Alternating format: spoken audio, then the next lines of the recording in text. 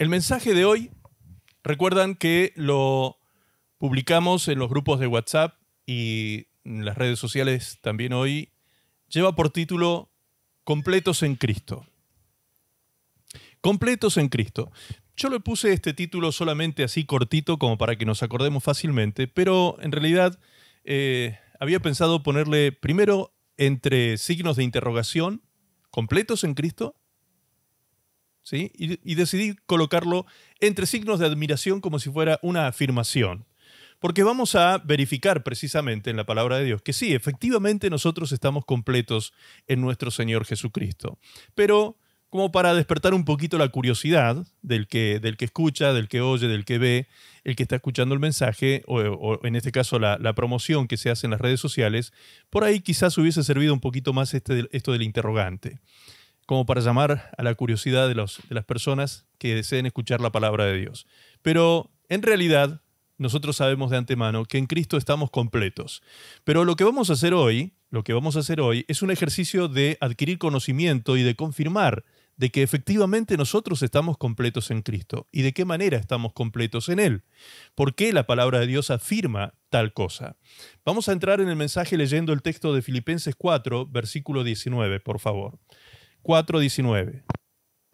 Filipenses 4.19 dice, Mi Dios pues suplirá todo lo que os falta conforme a, a sus riquezas en gloria en Cristo Jesús. Repito, mi Dios, pues, suplirá todo lo que os falta conforme a sus riquezas en gloria en Cristo Jesús. Y agregamos un versículo más para introducirnos en el mensaje de hoy. Colosenses capítulo 2, versículo 10. Dice, y vosotros estáis completos en Él, que es la cabeza de todo principado y potestad. ¿sí? Dios suplirá todo lo que nos falta conforme a las riquezas en gloria en Cristo Jesús. Y el otro texto dice, vosotros estáis completos en Él. Él es la cabeza de todo principado y potestad. Estamos completos en nuestro Señor Jesucristo.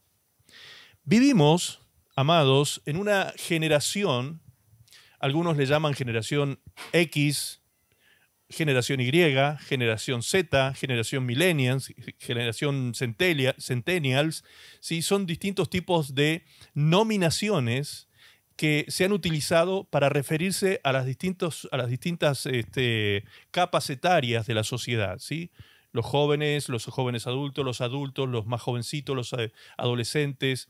Son eh, estas últimas generaciones tienen ciertas particularidades porque la velocidad de la tecnología y de tantas cosas que están sucediendo en el mundo han producido unos cambios impresionantes y en esta última generación que vienen haciendo es una generación que se le podría llamar la generación pantalla porque nacen ya con una pantalla en su vida, ¿sí? Están todo el tiempo transcurre su vida rodeados de pantallas. Diferentes tipos de pantallas son los que están comunicándose e intercomunicando ideas, filosofías, este, ideologías, enseñanzas, doctrinas, etcétera, que están llegando a la mente de las personas que están consultando sus pantallas permanentemente. Vivimos en ese momento, vivimos en ese tiempo, pero también esta, esta generación tiene una particularidad. No sé si se puede ver esta imagen que estamos utilizando aquí. Ustedes no la están viendo, ¿no? No, creo que no. Esta imagen que tenemos aquí ahí está, ustedes pueden ver cómo esto representa esta generación, ¿sí? esta generación que tenemos hoy en día. Hay otras imágenes que son muy fuertes también con respecto a familias, familias que están rodeados, eh, están sentados a la mesa en una ronda alrededor de la mesa, pero están todos conectados a su celular y nadie está teniendo contacto con nadie, nadie está dialogando con nadie. Y esta, este caso, este es el caso también de esta imagen que vemos aquí, donde un grupo de jóvenes están eh, e interactuando con su dispositivo en la mano, pero entre ellos están separados a gran distancia uno del otro y no hay entre ellos comunicación. Entonces, increíblemente, estamos en la era de la comunicación, estamos en la era de la comunicación y estamos viviendo en una sociedad incomunicada en, el aspecto personal. Eh, se han roto muchos vínculos y la gente busca vincularse a través de otros medios con la sociedad circundante. Bien, entonces como les decía, estamos viviendo en ese tipo de sociedad que, entre otras características, también es una sociedad que está teniendo problemas muy serios de trastornos mentales. Están aumentando las enfermedades o las patologías de carácter mental, los trastornos mentales, la ansiedad, la depresión, el miedo, la angustia, ¿sí? la desesperación, los suicidios. Miren, en España pasó algo, en este año pasó algo muy llamativo, eh, que los suicidios superaron la cantidad de muertes por accidentes. En España, por ejemplo. Una cosa muy llamativa porque los accidentes eh, viales, los accidentes automovilísticos se dan todo el tiempo, se están dando, y resulta que eh, en todos los países, por más que estén bien organizadas las vías de comunicación terrestre y demás, estén bien señalizadas y demás, pero a pesar de eso hay muchos, suelen haber muchos accidentes eh, fatales. Y en este caso España superó, la cantidad de suicidios superaron a la cantidad de muertos por accidentes automovilísticos. Entonces, estas patologías mentales, estas, estos trastornos mentales, eh, sumado a lo que ocurrió con la pandemia, y todas las muertes que hubieron por causa de la pandemia, más de 6 millones de personas en el mundo que fallecieron por causa de esto, ha provocado un estado de angustia, de ansiedad, de miedo, de desesperación, de miedo al futuro. Hay una cantidad de trastornos en las emociones y en la mente de las personas que está eh, provocando serios, serias consecuencias en la vida de las personas y en su, en su, entorno. Una persona que está afectada de esta manera afecta a su entorno también. Una persona que no está estable, que no está regulada emocionalmente, afecta a su familia, afecta a sus relaciones más cercanas, sus, sus relaciones afectivas, su matrimonio, su relación con sus hijos. Se afecta a sí mismo, por supuesto, es el primer afectado. Afecta a sus relaciones con su entorno laboral, con sus compañeros de trabajo. Es decir, que una persona que está alterado emocionalmente, que está pasando por un estado de, turbación, por un estado de, eh, que, puede ser hasta patológico, como les decía, en este momento se calcula que de, mm, un 10% aproximadamente de la población mundial está teniendo algún tipo de trastorno psicológico, es decir, almático o mental. Es muchísimo, es altísimo. 10% de la población mundial afectados con depresión y con trastornos de ansiedad. Esto es más o menos el cálculo que la Organización Panamericana de la Salud brinda acerca de esta situación. Les voy a compartir unos puntos. ¿sí? Vamos a poner en pantalla esta placa para que veamos lo que está siendo ya estadístico calculado eh, en la Organización Panamericana de la Salud se brindó esta información acerca de estos trastornos emocionales. Se calcula que el 25%, el 25% de las personas padecen uno o más trastornos mentales o del comportamiento a lo largo de su vida.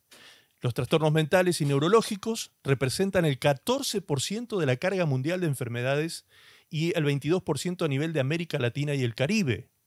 Es altísimo este porcentaje. Más de 350 millones de personas de todas las edades sufren de depresión globalmente.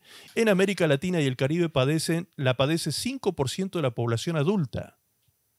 Entre el 60 y el 65% de las personas que necesitan atención por depresión en América Latina y el Caribe no la reciben no la reciben. Entre el 60 y el 65% no están teniendo ningún tipo de atención profesional para poder tratar de, salir adelante de esta situación en la que se encuentran. Un millón de personas mueren cada año en el mundo por causa del suicidio. Un millón de personas se suicidan cada año en el mundo, ¿sí? Y están muchos de ellos afectados, obviamente, por estos trastornos o estas patologías psicológicas. En América, en las Américas, alcanza alrededor de 63 mil personas que se han quitado la vida por estas circunstancias tan tristes. La depresión es el trastorno mental que afecta a la población, eh, eh, que más afecta, perdón, a la población, a la población mundial, es la que más afecta, la depresión, seguida luego de la ansiedad, el trastorno de ansiedad. Entre los trastornos mentales en América Latina y el Caribe, la depresión es la más común, 5%, seguida por los trastornos de ansiedad, 3.4%, la distimia, 1.7%, el trastorno obsesivo compulsivo, 1.4%, trastorno de pánico y psicosis no afectiva, 1% cada una, y trastorno bipolar, 0,8% entre otros, muchos otros trastornos que se están dando en la población mundial. Los trastornos mentales son prevalentes. En Latinoamérica hay una gran variedad de trastornos mentales que existen, pero los trastornos depresivos y el de ansiedad son los más comunes. Ahora, ¿nosotros los hijos de Dios estamos libres de padecer algún tipo de situación como esta? Pues no, somos seres humanos que por, nuestras venas corre sangre como cualquier otro y podemos tener algún tipo de padecimiento y nosotros como hijos de Dios sí, gracias a Dios, tenemos una solución definitiva para este tipo de situaciones que otras personas no están encontrando solución porque la psiquiatría está teniendo un problema muy serio en este momento porque con las pastillas que el psiquiatra puede recetar no soluciona el problema, la causa, el fondo de la situación, lo que está provocando esto, sino que con pastillas de pronto lo que se puede hacer es regular de pronto un, poco, regular emocionalmente a la persona, regular las frecuencias electrónicas de nuestro cerebro, se pueden de alguna manera apaciguar para que la persona esté un poco más relantizada y no tenga todos esos chisporroteos en su mente que lo están llevando a esa situación. La tristeza y la ansiedad son partes, son normales. La tristeza, la ansiedad, son normales en todo ser humano. Por eso es que digo que un cristiano también puede ser afectado. El problema no es tener tristeza o tener algún tipo de ansiedad. El problema es cuando esa tristeza o ese tipo de ansiedad nos impiden a nosotros funcionar en el día a día. Cuando esto nos resulta a nosotros un problema tan serio que se transforma en un trastorno, en un trastorno mental que nos invalida y no, no nos deja y no nos permite hacer la vida social, laboral, familiar, relacional que quisiéramos tener por causa de esa situación. ¿Me explico? Esa es la situación en la que está el mundo actualmente. Estamos en una situación, realmente ustedes miran a su alrededor, si ustedes tienen la gracia del Señor de estar en paz en este momento, de tener gozo, alegría en sus vidas y estar plenos, pues gloria a Dios si es así. Pero aún siendo así, si ustedes miran a su alrededor, familiares, amigos, vecinos, compañeros de trabajo, compañeros del colegio, de la universidad, se van a encontrar con muchas personas que están padeciendo situaciones almáticas, psicológicas, eh, emocionales, donde están, que están sufriendo como si fuese una cárcel, están metidos como en una cárcel de la cual no pueden salir, están eh, prisioneros de esa situación y no pueden liberarse de esas cadenas de tristeza, de angustia, de ansiedad que los están atormentando. Bien, la pregunta que se están haciendo y se han venido haciendo ya hace algunos años, algunos estudiosos de la cuestión psicológica, eh, social y demás, se han estado preguntando qué es lo que está pasando en esta sociedad moderna, por qué una sociedad que se supone debería estar en una sensación de plenitud al menos, porque la producción de, de servicios y productos materiales para satisfacer las necesidades de la sociedad, más que nunca antes se está produciendo en este tiempo. Hoy nosotros tenemos una vida sumamente cómoda comparada con la vida de los hombres de hace 100 años atrás. Hace 100 años, simplemente 100 años atrás, y de ahí para atrás ni hablar, la gente vivía en otro estado de vida totalmente diferente a la nuestra, eh, con cosas muy precarias, con muchísimas, muchísimas menos cosas que las que nosotros tenemos hoy. ¿sí? Nos hemos transformado en grandes acumuladores de cosas. En nuestras casas hay cosas que se compraron y ahí están todavía nuevas porque ni siquiera se han utilizado. Muchas veces pasa esto, esto porque hay algo que está aconteciendo en la sociedad. La sociedad está siendo permeada transversalmente, todo el mundo está siendo de alguna manera captado, se le está captando la atención a la gente para que hagan un consumo excesivo algo está sucediendo. Ese consumo excesivo ¿sí? de adquirir cosas para pretender ser feliz con el tener, porque hay que tener para ser feliz. Esa es la idea que muchas veces eh, la mercadotecnia, el, marketing ha estado instalando en la mente de los seres humanos, pues hoy en día eso se está comprobando que efectivamente no es así. No hay un paralelismo entre el tener y el ser feliz. No existe tal paralelismo. Esto comenzó, para hacer un poquito de memoria, remontarnos un poquito, un poquito en el tiempo, esto comenzó en los años 50 del siglo pasado aproximadamente. El marketing, incipiente por entonces, estaba recién comenzando a trabajarse todo esto y a, estudiarse todas estas ciencias de la, de la mercadotecnia, postulaba en aquel tiempo que las necesidades humanas eran infinitas, que el hombre tenía infinitas necesidades, por lo tanto el mercado y la industria y las fábricas y todo lo que produce bienes y servicios tenían también infinitas posibilidades de proveer satisfactores de manera infinita a la sociedad. ¿Sí? Porque la idea era que había que tener para ser. ¿Para ser qué? Para ser feliz. Había que tener cosas para ser feliz. Por entonces, el crecimiento de los países se medía por medio de lo que conocemos nosotros hasta el día de hoy como el PBI, ¿sí? El producto, el producto bruto interno. El ingreso per cápita también tiene que ver con esto, obviamente, ¿sí? Y entonces se creía que, bueno, mientras un país tuviese mayor ingreso per cápita, mayor PBI, mayor crecimiento, bueno, supuestamente la población que estaba dentro de ese país tenía que ser eh, un país feliz. Bien, resulta que en la actualidad hay estudios hechos sobre estas sociedades actuales, modernas, de primer mundo, y que precisamente sociedades como las de Estados Unidos, Canadá, Francia, se encuentran en el puesto número 20. Puestos del 16 al 20 va Estados Unidos, Canadá y Francia entre los últimos puestos de, la escala, de una escala de 20 países que se consideran que viven una vida feliz dentro de todo, entre comillas, feliz, ¿no? Eh, se considera que estos países están en esos puestos. Y llamativamente, países sudamericanos como Costa Rica, que no tienen un ingreso per cápita como ellos, tienen una posición dentro de lo que es la escala del el índice de felicidad mucho más alto. Entonces, ¿qué sucedió? No tardaron en darse cuenta, después del siglo pasado, estábamos hablando ya de hace 70 años atrás, hermanos, es muchos años.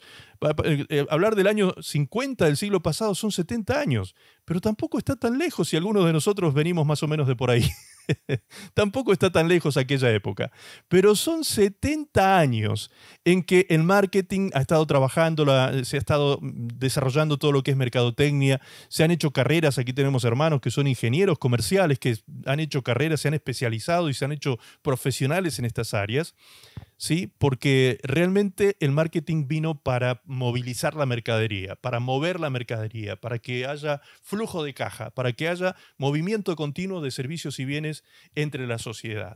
Entonces, estas personas se especializan en este tipo de tareas. Ahora, algo llamativo que cuando se empezó a estudiar esto de las, el, crecimiento per cápita de un país relacionado con la felicidad de la gente que lo habita, el mismo Simón Kuznets, que fue el inventor de esto del PBI, de medir el PBI en los países, el Producto Bruto Interno, él mismo dijo esta frase. Es muy difícil deducir el bienestar de una nación a partir de su renta nacional per cápita. Es muy difícil deducir el bienestar. Hablando del bienestar total de una persona, es muy difícil deducir el bienestar de una nación a partir de su renta nacional per cápita. Es muy difícil relacionar bienestar con tener. Eso está diciendo en pocas palabras este señor especializado en el tema. La ONU hizo algo. La Organización de las Naciones Unidas, después de empezar a darse cuenta de esto y de estar teniendo como un gran descalabro en, los países por causa del alto consumo en algunos, el bajo consumo en otros, y todo, empezaron a estudiar si realmente valía la pena llevar a cabo una sobreproducción de bienes y servicios para brindarle a la gente de sus países, brindarle todas las cosas que se supone que necesitaban. ¿sí? Entonces, para analizar las necesidades, la ONU convocó a 150 científicos de todo el mundo, entre los cuales habían tres chilenos connotados, tres chilenos que trabajaron en este, en este trabajo de investigación. Y luego le voy a mencionar a estos tres chilenos que algunos de ellos fueron bien conocidos en Chile, uno de ellos ya falleció, eh, que fueron eh, personas que trabajaron en ese equipo, trabajaron en ese equipo y desarrollaron estos tres chilenos, estos tres científicos sociales, podríamos decir, aunque uno de ellos era economista, otro psicólogo y el otro filósofo, entre otras profesiones que tenían, ellos desarrollaron algo que se llamó desarrollo a escala humana. ¿Sí? Desarrollo a escala humana. Se descubrió a partir de este estudio que se hizo interdisciplinario con todos los profesionales que participaron, toda la gente que estaba especializada en distintas este, disciplinas de la, ciencia social, de las ciencias sociales, que participaron en este, en este estudio, en este análisis social, llegaron a la conclusión de que las eh, necesidades humanas no son infinitas, porque la pregunta de la ONU era si efectivamente era como postulaba el marketing, que las necesidades humanas eran infinitas. ¿sí? Entonces, la primera consigna de ese estudio fue realmente analizar si las necesidades son infinitas. Y si no son infinitas, pues entonces es lo contrario, son finitas.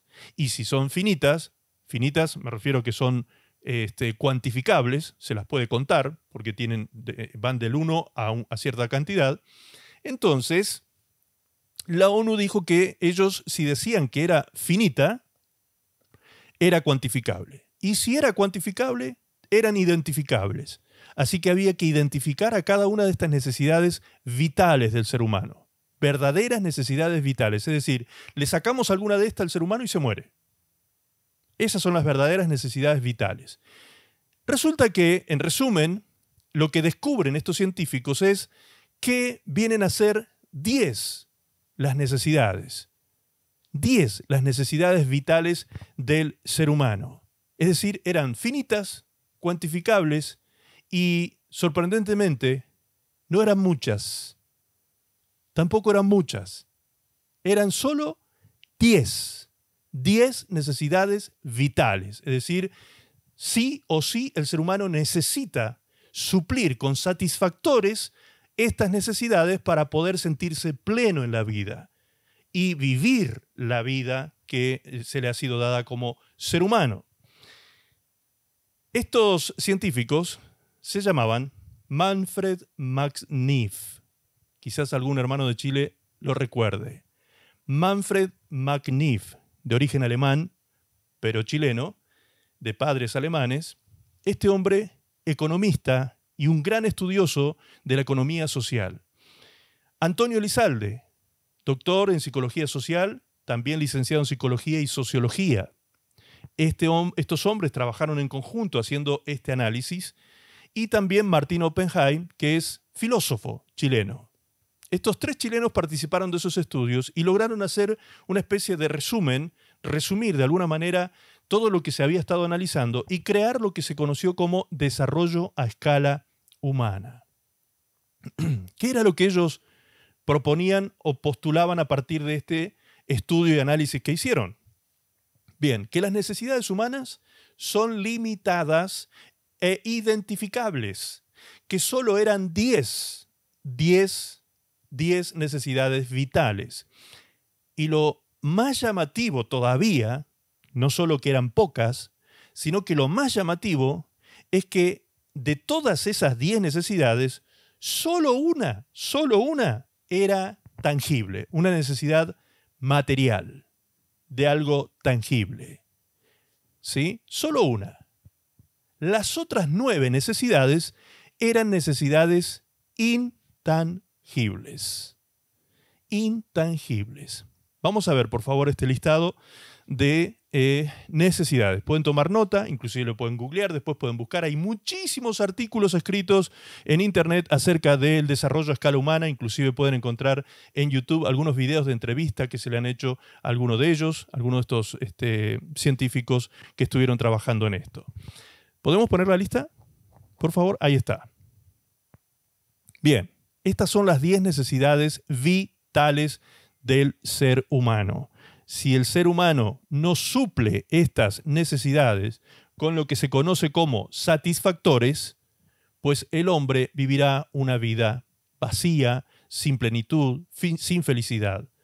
Resulta que la felicidad es llenar todas estas necesidades, tiene que ver con llenar y suplir todas estas necesidades y no con tener cosas materiales con adquirir cosas materiales, porque podemos acumular y acumular y acumular cosas materiales y nos damos cuenta que esas cosas no llenan nuestra alma, no llenan nuestra vida almática, mental y emocional.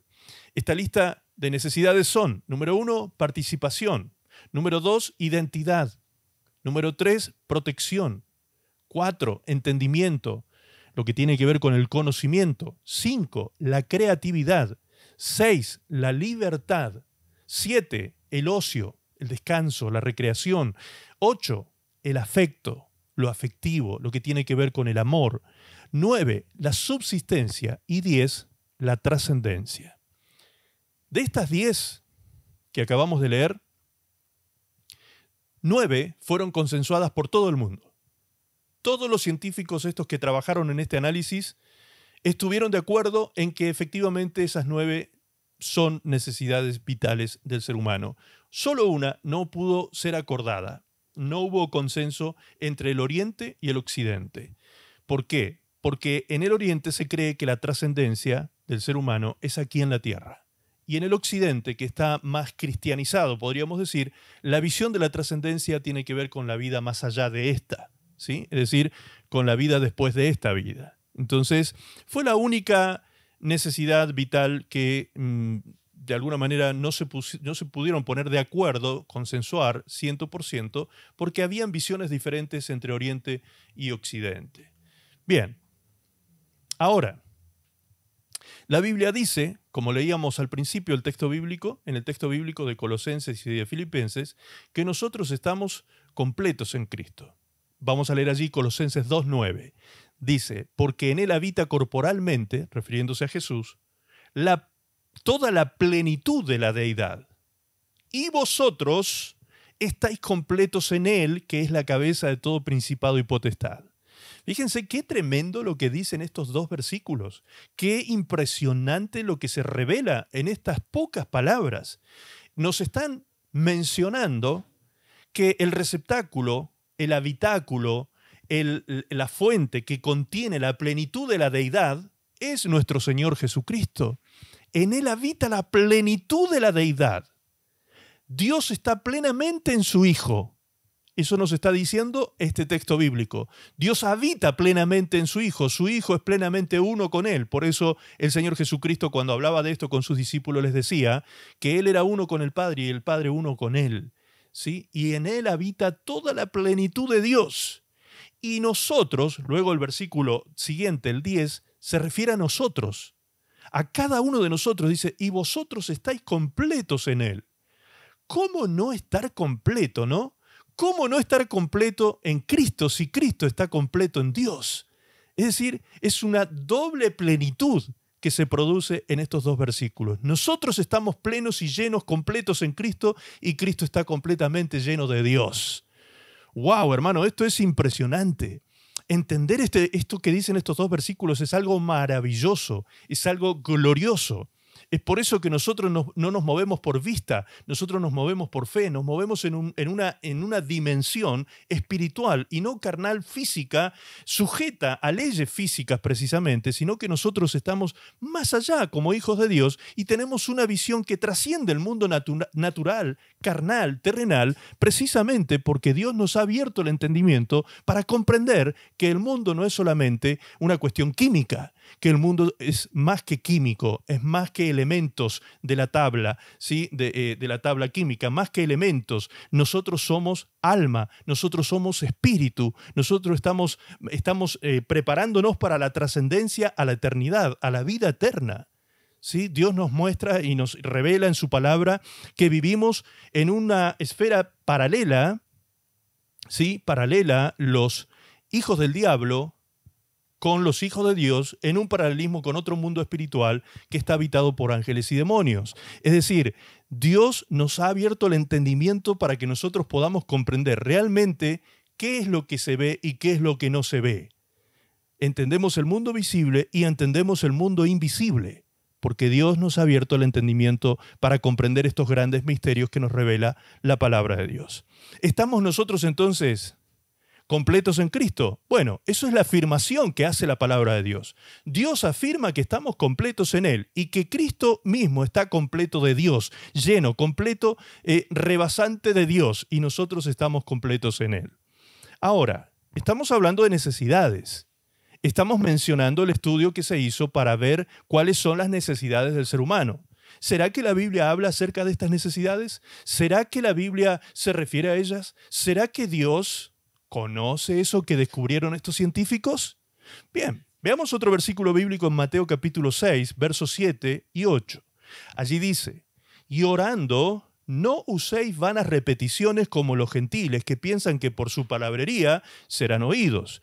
No os hagáis semejantes a ellos, porque vuestro Padre sabe de qué cosas tenéis necesidad antes que vosotros le pidáis. Entonces, ¿qué dice el texto bíblico? ¿Sabe o no sabe Dios de nuestras necesidades? Claro que la sabe.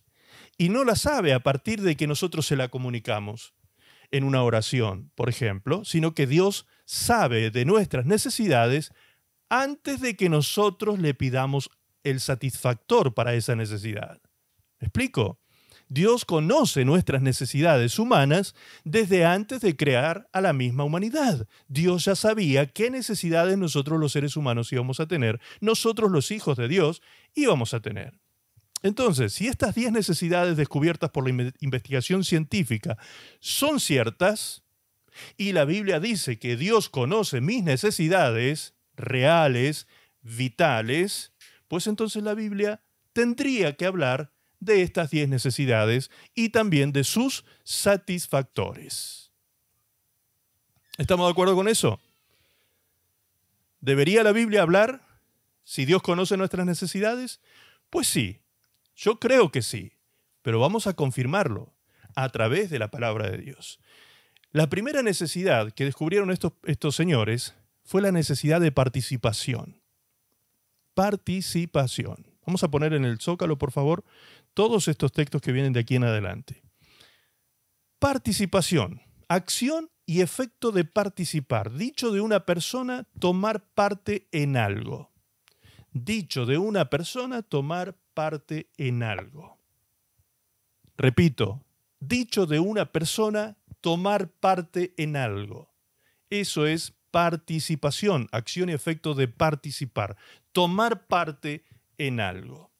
¿Qué dice la palabra de Dios respecto de esto?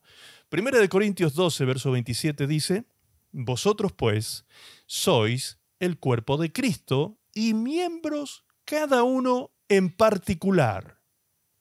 Y 1 Corintios 12, 12 dice, porque así como el cuerpo es uno y tiene muchos miembros, pero todos los miembros del cuerpo, siendo muchos, son un solo cuerpo, así también Cristo. Así también Cristo Jesús, ¿sí? Así también en Cristo Jesús nosotros somos un cuerpo y todos somos parte de ese cuerpo.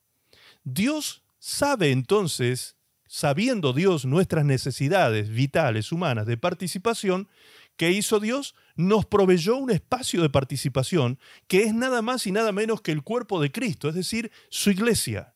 Nosotros, este cuerpo congregacional que estamos reunidos aquí, somos el cuerpo de Cristo. En este caso, como iglesia local, podríamos decir, para identificarnos de alguna manera, pero el cuerpo de Cristo místico y universal se extiende a lo largo de toda la tierra y está constituido por todos aquellos hombres y mujeres que un día se arrepintieron de sus pecados y reconocieron a Jesucristo como Señor de sus vidas. Lo recibieron en sus vidas para que señoree sobre ellos y establezca el reino de Dios en sus corazones. Esas personas son bautizadas por el Espíritu Santo en el cuerpo de Cristo, dice la palabra de Dios. Somos sumergidos por el Espíritu Santo en el cuerpo de Cristo. Y de esa manera pasamos a ser miembros del cuerpo porque nosotros somos una parte de él. De alguna manera funcionamos siendo como un órgano de ese cuerpo, un miembro de ese cuerpo, ¿sí? Para que ese cuerpo siga creciendo y desarrollándose en toda la tierra, nos va sumando a nosotros como miembros de tal cuerpo. ¿Tenemos entonces participación? Amén, tenemos participación. ¿Tenemos identidad en Cristo? Segunda necesidad mencionada en esta larga lista de 10. ¿Tenemos identidad? ¿Qué significa identidad? Estamos leyendo los significados según el diccionario, ¿sí? Número uno, identidad es la cualidad de idéntico. Y número dos, es el conjunto de rasgos propios de un individuo o de una colectividad que los caracteriza frente a los demás. ¿Será que nosotros tenemos estas cualidades? ¿Será que nosotros podríamos decir que tenemos identidad entonces en Cristo? Bien, dice Juan capítulo 1, verso 12. Mas a todos los que le recibieron, a los que creen en su nombre, les dio potestad de ser hechos hijos de Dios. Hijos de Dios. Es decir, que desde el mismo instante en que nosotros le abrimos nuestro corazón al Señor, desde aquel día uno, cuando tú le abriste tu corazón a Cristo y le dijiste, Señor, ven a mi vida, yo quiero que habites en mí como si yo fuese tu templo, Señor, que tú te manifiestes en mí, que señorees en mi vida, que te adueñes de mi vida. ¿sí? A partir de ese momento, la palabra de Dios dice que tú fuiste constituido en un hijo de Dios. En un hijo de Dios. ¿Por qué? Porque antes, también dice la palabra, la escritura, que estábamos en el reino de las tinieblas. Y nuestro Padre Celestial nos trasladó del reino de las tinieblas al reino de su amado Hijo, el reino de la luz donde fuimos constituidos hijos de Dios. Gálatas capítulo 3, verso 26 y 27 y hasta el 28 dice así, pues todos sois hijos de Dios por la fe en Cristo Jesús. No hay otra manera de ser hijo de Dios. Somos hijos de Dios por la fe en Cristo Jesús. Porque todos los que habéis sido bautizados en Cristo, de Cristo estáis revestidos.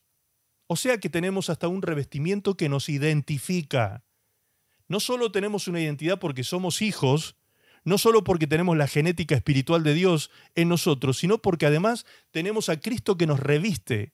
Es decir, las características externas, lo visible en nosotros, a partir de que Cristo entró en nuestras vidas, nos identifica como hijos de Dios. ¿Sí? Antes, cuando no éramos hijos de Dios, lo externo, lo que nosotros exteriorizábamos, no representaba a Cristo. Pero a partir de que nosotros vinimos al Señor, nuestras conductas comienzan a cambiar, nuestra manera de hablar, nuestra manera de pensar, nuestra manera de vivir, nuestra conducta inclusive de vestimenta. ¿Sí? Hasta la vestimenta, cuidamos de que sea una vestimenta decorosa porque tenemos una identidad que tenemos que cuidar. Somos hijos de Dios y esa identidad debe ser cuidada también. Y el verso 28 dice, ya no hay judío ni griego no se trata aquí de nacionalismos, no se trata aquí de identidades geográficas, sino que en Cristo Jesús somos uno. Dice Gálatas 3:28, ya no hay judío ni griego, no hay esclavo ni libre, no hay varón ni mujer, porque todos vosotros sois uno en Cristo Jesús. Cristo es entonces nuestra identidad. Él nos unifica y nos da las características de su carácter en nosotros. Cristo comienza a crecer en nosotros y eso nos identifica como hijos de Dios. Tercera necesidad de esta lista de 10, protección. Protección. ¿Qué significa esto? Es la acción y efecto de proteger. Segunda acepción, resguardar a una persona, animal o cosa de un, de un perjuicio o peligro poniéndole algo encima, rodeándole, poniéndole algo encima, es decir, una cubierta o una cobertura encima que proteja a ese animal, a esa cosa o a esa persona. Tercera acepción, amparar, favorecer, defender a alguien de algo. Todo esto tiene que ver con protección, ¿sí? Bien, ¿qué dice la palabra de Dios respecto a nosotros como hijos de Dios y la protección? Primera de Juan 5:18. Sabemos que todo aquel que ha nacido de Dios no practica el pecado, pues aquel que fue engendrado por Dios le guarda, le guarda, y el maligno no le toca. Y el maligno no le toca. ¿Sí? ¿Quién es aquel que fue engendrado por Dios? Fíjense que la palabra aquel está escrita con mayúscula. Es un pronombre. Se está refiriendo a nuestro Señor Jesucristo. Él fue engendrado por Dios y Él es el que a nosotros nos guarda para que el maligno no nos toque. Entonces, ¿se está llevando a cabo sobre nuestras vidas un acto de protección de parte de Dios sobre nosotros? Claro que sí. Dios nos está protegiendo y nos protege no de los males temporales, terrenales, sino de males eternos. Dios nos protege hasta en la eternidad, de que nosotros no vayamos a, como consecuencia de haber vivido una vida de pecado, a terminar condenados eternamente en un infierno ardiente, como explica la palabra de Dios. Mateo 6:13, ¿qué dice? Y cuando vengan las pruebas, no permitas que ellas nos aparten de ti y líbranos del poder del diablo. Esto es cuando el Señor Jesucristo le enseña a sus discípulos cómo tenían que orar. Y en la última parte de la oración, aquella famosa oración que se conoce como la oración del Padre Nuestro, ¿sí? dice estas palabras. Cuando vengan las pruebas, no permitas, Dios Padre, no permitas que ellas nos aparten de ti y líbranos del poder del diablo. Amén. Entonces, ¿qué es lo que estamos invocando? ¿Qué es lo que estamos pidiendo en esta oración? Pues protección. Que el poder del diablo, que no lo debemos subestimar, que puede atacarnos, ¿sí? No nos va a tocar siempre y cuando nosotros estemos bajo el resguardo del Señor Jesucristo. Ahora, si el Señor Jesucristo no está en nuestra casa, no está, no está en nuestro templo, ¿qué es lo que ocurre? pues quedamos vulnerables. Mateo capítulo 12, verso 43, dice claramente que cuando un espíritu inmundo sale del hombre, busca lugares donde reposar y no hallándolo, dice, regresaré a mi casa de donde salí. Y cuando regresa, si encuentra la casa vacía, desocupada, va en busca de siete espíritus peores que él, y entrados en el hombre, el postrer estado de esta persona viene a ser peor que el primero. ¿Por qué? Porque está vulnerable al ataque del enemigo, porque esa persona no cuidó su relación con Dios, no cuidó su comunión con Dios, rompió su relación con Dios, aún siendo hijo. Aún siendo hijo, rompió su relación con Dios, se comportó como aquella mala generación. Jesús llamó a esa gente que les estaba explicando esto, a ustedes les va a ocurrir eso porque son mala generación. A la mala generación de hijos de Dios que rompen su relación con el Padre, a estas personas, estas personas son las que quedan vulnerables al ataque del enemigo. Estas son las personas que desechan la protección de Dios en sus vidas, minimizan y subestiman el poder de ataque de Satanás y de destrucción que tiene sobre la vida de aquel que ataca, lo minimizan y por eso, como consecuencia, el posterior estado de esa persona viene a ser peor que el primero. Seguimos hablando de protección. Leemos Salmo 91, verso 1 en la, en la versión del lenguaje sencillo. Dice, vivamos bajo el cuidado del Dios Altísimo Pasemos la noche bajo la protección del Dios Todopoderoso. Él es nuestro refugio, el Dios que nos da fuerzas, el Dios en quien confiamos. ¿Cuántos dicen amén? Decimos amén al Señor, Él es nuestro refugio, Él es el que nos da fuerza, en Él confiamos, Él es nuestra protección. Dormiremos cada noche bajo la protección del Dios Todopoderoso. Amén. Filipenses 4:7 y la paz de Dios, que sobrepasa todo entendimiento, guardará vuestros corazones, protegerá tu corazón. Y no solo eso, sino que además guardará tus pensamientos en Cristo Jesús. Tus pensamientos serán protegidos y guardados. ¿Por qué es tan importante que nuestros pensamientos, es decir, nuestra mente, sea protegida? Pues porque lo que el hombre piensa, siente. ¿Recuerdan siempre esto que hemos hablado de lo que postula la, psicología? Por cuanto el hombre piensa, siente y por cuanto siente, actúa. Es decir, que nuestras conductas, nuestros actos, nuestros hábitos, nuestras costumbres nacen, se producen o son el resultado de lo que nosotros sentimos hacer. Y lo que sentimos es lo que nosotros pensamos. Por lo tanto, en nuestros pensamientos está el poder de decisión, allí es donde se gesta, donde el enemigo inocula sus ideas y nosotros incubamos iniquidad, dice la palabra de Dios. Incubamos en nuestra mente la iniquidad y entonces luego da a luz el pecado y como consecuencia la muerte. ¿Se dan cuenta? Entonces, de todo eso nos protege el Señor cuando guarda nuestros pensamientos. ¿Sí? Es muy serio, es muy gravitante, es muy importante comprender ¿Qué significa que Dios guarda nuestros pensamientos? No es que por ahí de pronto nos podemos imaginar que, bueno, en paz me acostaré y así mismo dormiré, como a veces sí, le enseñamos a los niños que digan cuando se van a acostar, y nos acostamos con carita de angelitos y que Dios va a guardar nuestros pensamientos. No se trata solo de cuando dormimos, hermanos, no se trata solo de eso, se trata de lo que vivimos en el día. Fíjense que inclusive ese mismo texto que le enseñamos a nuestros niños a veces, en paz me acostaré y así mismo dormiré, no dice que Dios te va a dar paz mientras duermes. No dice eso el texto. Lo que dice el texto es que en paz me acostaré. O sea, que me voy a acostar ya en estado de paz. Voy a estar en paz antes de acostarme. Y voy a dormir en ese estado de paz porque me acosté en paz antes. Estuve en paz antes de acostarme. En paz me acostaré. O sea, el acostarme a dormir es un acto posterior al, haber entrado en un estado de paz. Por favor, alguien que me pase el... Necesitamos entonces que nuestros pensamientos sean guardados, que nuestros pensamientos sean cuidados por nuestro Señor Jesucristo.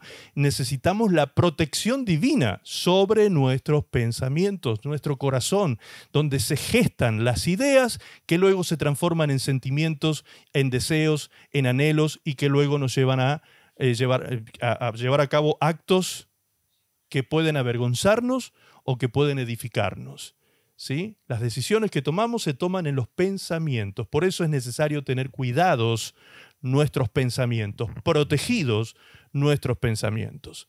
Veamos ahora lo que es la cuarta necesidad y si es que Dios tiene para nosotros satisfactores para esta necesidad. Esa cuarta necesidad en esta larga lista que vimos era de, eh, se trataba de el entendimiento el entendimiento, la cuarta necesidad. ¿Qué significa entendimiento? Es la potencia del alma, fíjense lo que dice el diccionario, qué llamativo esto, la potencia del alma en virtud de la cual concibe las cosas, las compara, las juzga e induce y deduce otras de las que ya conoce. Y segundo, inteligencia o sentido que se da a lo que se dice o se escribe. Esto es el entendimiento. De esto se trata el entendimiento. Ahora, según la palabra de Dios en Proverbios capítulo 1, verso 7, ¿cuál es el principio de ese entendimiento extraordinario que Dios nos da a nosotros los hijos de Dios? Que solo los hijos de Dios pueden tener. Solo los hijos de Dios. El hombre natural sin Cristo puede ser un hombre inteligente, por supuesto que sí, muy inteligente, puede desarrollar inclusive distintos tipos de inteligencias, pero solo los hijos de Dios pueden desarrollar una inteligencia que es exclusiva de los hijos de Dios, que nace a partir de la sabiduría que Dios derrama en el corazón de sus hijos, y esa inteligencia es la inteligencia espiritual. ¿Han escuchado hablar ustedes de la inteligencia analítica, la inteligencia creativa? ¿Sí? La que se utiliza, por ejemplo, para los pintores, los músicos, utilizan la creatividad, es una inteligencia que ellos desarrollan.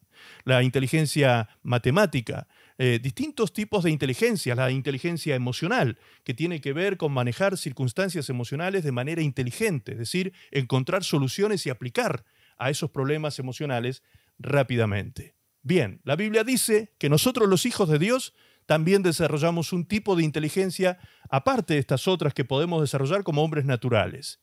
Esa inteligencia que usted y yo podemos desarrollar como hijos de Dios se llama inteligencia espiritual. Y el principio el origen, la causa, la génesis de esa inteligencia espiritual se encuentra en el temor de Dios. El principio de la sabiduría es el temor de Jehová. Proverbios 1.7. Ese es el principio, la génesis. Allí es donde comienza el hombre a desarrollar inteligencia espiritual. Primera de Juan capítulo 5 verso 20 dice, pero sabemos que el Hijo de Dios ha venido y nos ha dado entendimiento para conocer al que es verdadero y estamos en el verdadero, en su Hijo Jesucristo. Este es el verdadero Dios y la vida eterna. Este es el verdadero Dios y la vida eterna. Y Dios nos ha dado entendimiento para conocer este misterio. Hay hombres y mujeres que lamentablemente están perdidos entre sendas cruzadas de idolatría y no saben en qué más poner su fe, si en el elefantito con el billetito enrollado en la trompa, si rozar la pancita del Buda que tienen allí en la, en la mesita de luz, o si, o sea, ponen la fe en muchas cosas materiales y tangibles que no son Dios, que no es la divinidad. A nosotros se nos ha dado el entendimiento, tenemos la gracia Dios nos ha dado la gracia de que nosotros entendamos quién es el verdadero Dios y este es su Hijo Jesucristo. Este es el verdadero Dios y Dios nos dio el entendimiento para comprender esta maravilla ¿sí? de la trilogía o la triunidad o la trinidad de Dios. Dios uno solo en su manifestación trina. Dios nos ha dado el entendimiento para comprender semejante misterio. Colosenses 2, versículo 2 dice, para que sean consolados vuestros corazones, unidos en amor, hasta alcanzar todas las riquezas de pleno entendimiento, hasta alcanzar todas las riquezas de pleno entendimiento, a fin de conocer el misterio de Dios el Padre y de Cristo. Es decir, que hasta alcanzar está hablando de un entendimiento que se va a manifestar en nosotros de manera progresiva, evolutiva, es decir, vamos a ir creciendo en ese conocimiento a medida que permanecemos en la palabra de Dios, en Cristo Jesús y en su verdad. En la medida que permanecemos en Él, vamos a ir creciendo en el entendimiento espiritual. Vamos a desarrollar lo que, como les decía recién, se llama inteligencia espiritual. Pablo, en Efesios 1.6, fíjense lo que él oraba. Pablo hacía una oración intercesora. Una oración intercesora significa ponerse ante Dios en favor de otros. Eso es interceder. Y Pablo oraba por la iglesia de Éfeso. ¿Qué le pedía a Dios para que le diera a los de la iglesia de Éfeso? Dice, no ceso de dar gracias por vosotros, haciendo memoria de vosotros en mis oraciones, para que el Dios de nuestro Señor Jesucristo, el Padre de Gloria, os dé. O sea, él, el apóstol Pablo, considera que esta iglesia todavía no tenía esto. Por eso es que le está pidiendo a Dios que se le dé. ¿Que se le dé qué cosa? Que se le dé espíritu de sabiduría y de revelación en el conocimiento de Él. ¿Cómo va a ocurrir este fenómeno? Alumbrando los ojos del entendimiento, los ojos de vuestro entendimiento, para que sepáis. O sea, para saber, primero tengo que ser alumbrado. Para saber, primero tengo que ser alumbrado en mi entendimiento. Los ojos de mi entendimiento deben ser alumbrados para saber. Qué bueno que Pablo lo sabía, porque si hubiese sido por los de Éfeso, que no lo sabían, pues ellos habrían muerto en ignorancia espiritual.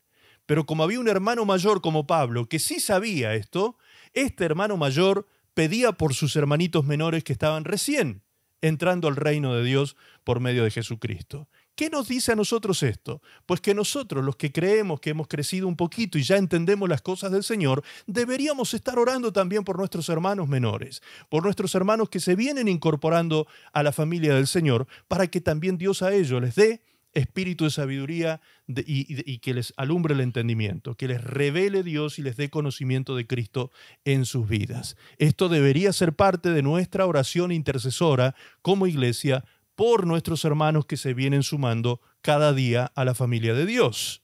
¿Cuántos dicen amén? ¿Lo vas a recordar en tus oraciones?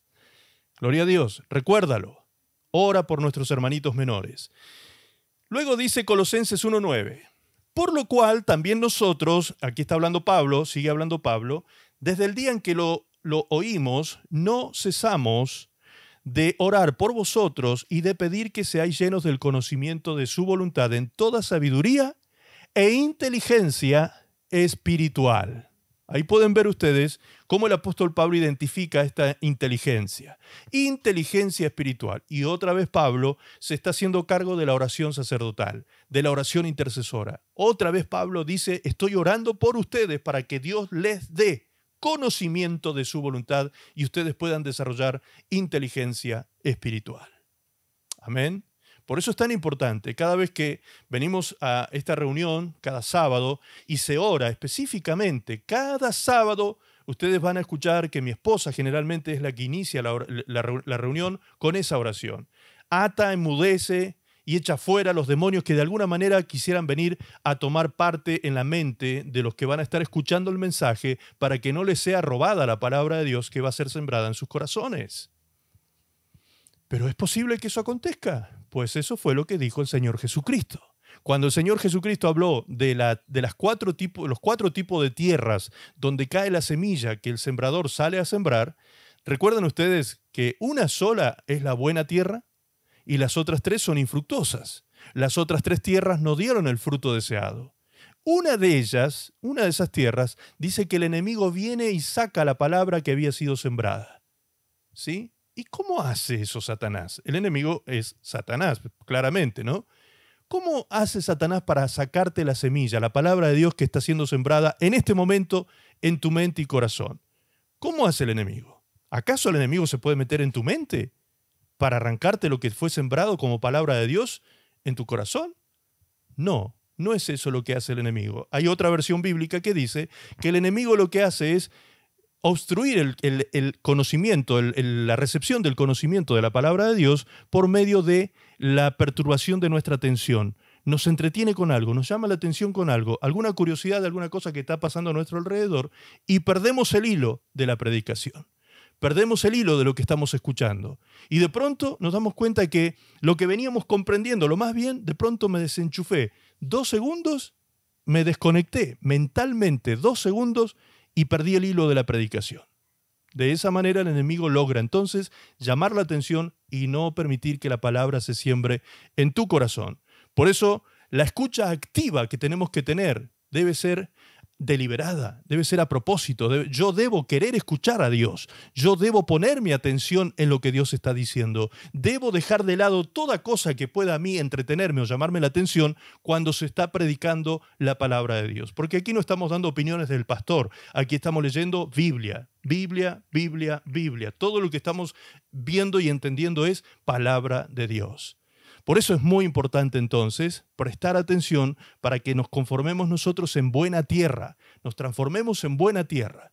Si la palabra entra y se queda, si la palabra es entendida, recuerden que la buena tierra es aquella que oye, entiende con buen corazón y guarda la palabra obedeciéndola con perseverancia en el tiempo. Eso es lo que dice la Biblia cuando Jesús habla de la parábola del sembrador. Entonces, oímos, comprendemos, guardamos, es decir, obedecemos y permanecemos en ese estado de obediencia a la voluntad de Dios. Cuando eso ocurre en el tiempo, nos transformamos en buena tierra que lleva, eh, multiplica las semillas, la palabra se multiplica en nosotros y desde nosotros damos cosechas abundantes para otros a 30, a 60 y a 100 por uno cristianos e hijos de Dios productivos, cristianos e hijos de Dios llenos del Señor, llenos de entendimiento de la voluntad de Dios. Por último, fíjense lo que dice Lucas 24:45. Dice, entonces les abrió el entendimiento para que comprendiesen las escrituras. Habían estado mucho tiempo con Jesús los discípulos. Sin embargo, todavía su entendimiento no estaba abierto del todo. Comprendían muchas cosas, pero no todas las que tenían que comprender. ¿Recuerdan ustedes cuando en Juan 15 Jesús les dice, desde Juan versículo 1, Juan 15, 1 al 23, al 16, perdón, hasta el 16. Allí se desarrolla todo lo que es la enseñanza del Señor Jesucristo refiriéndose a Él alegóricamente como una vid y los discípulos como pámpanos. ¿Recuerdan cuando Jesús dijo eso?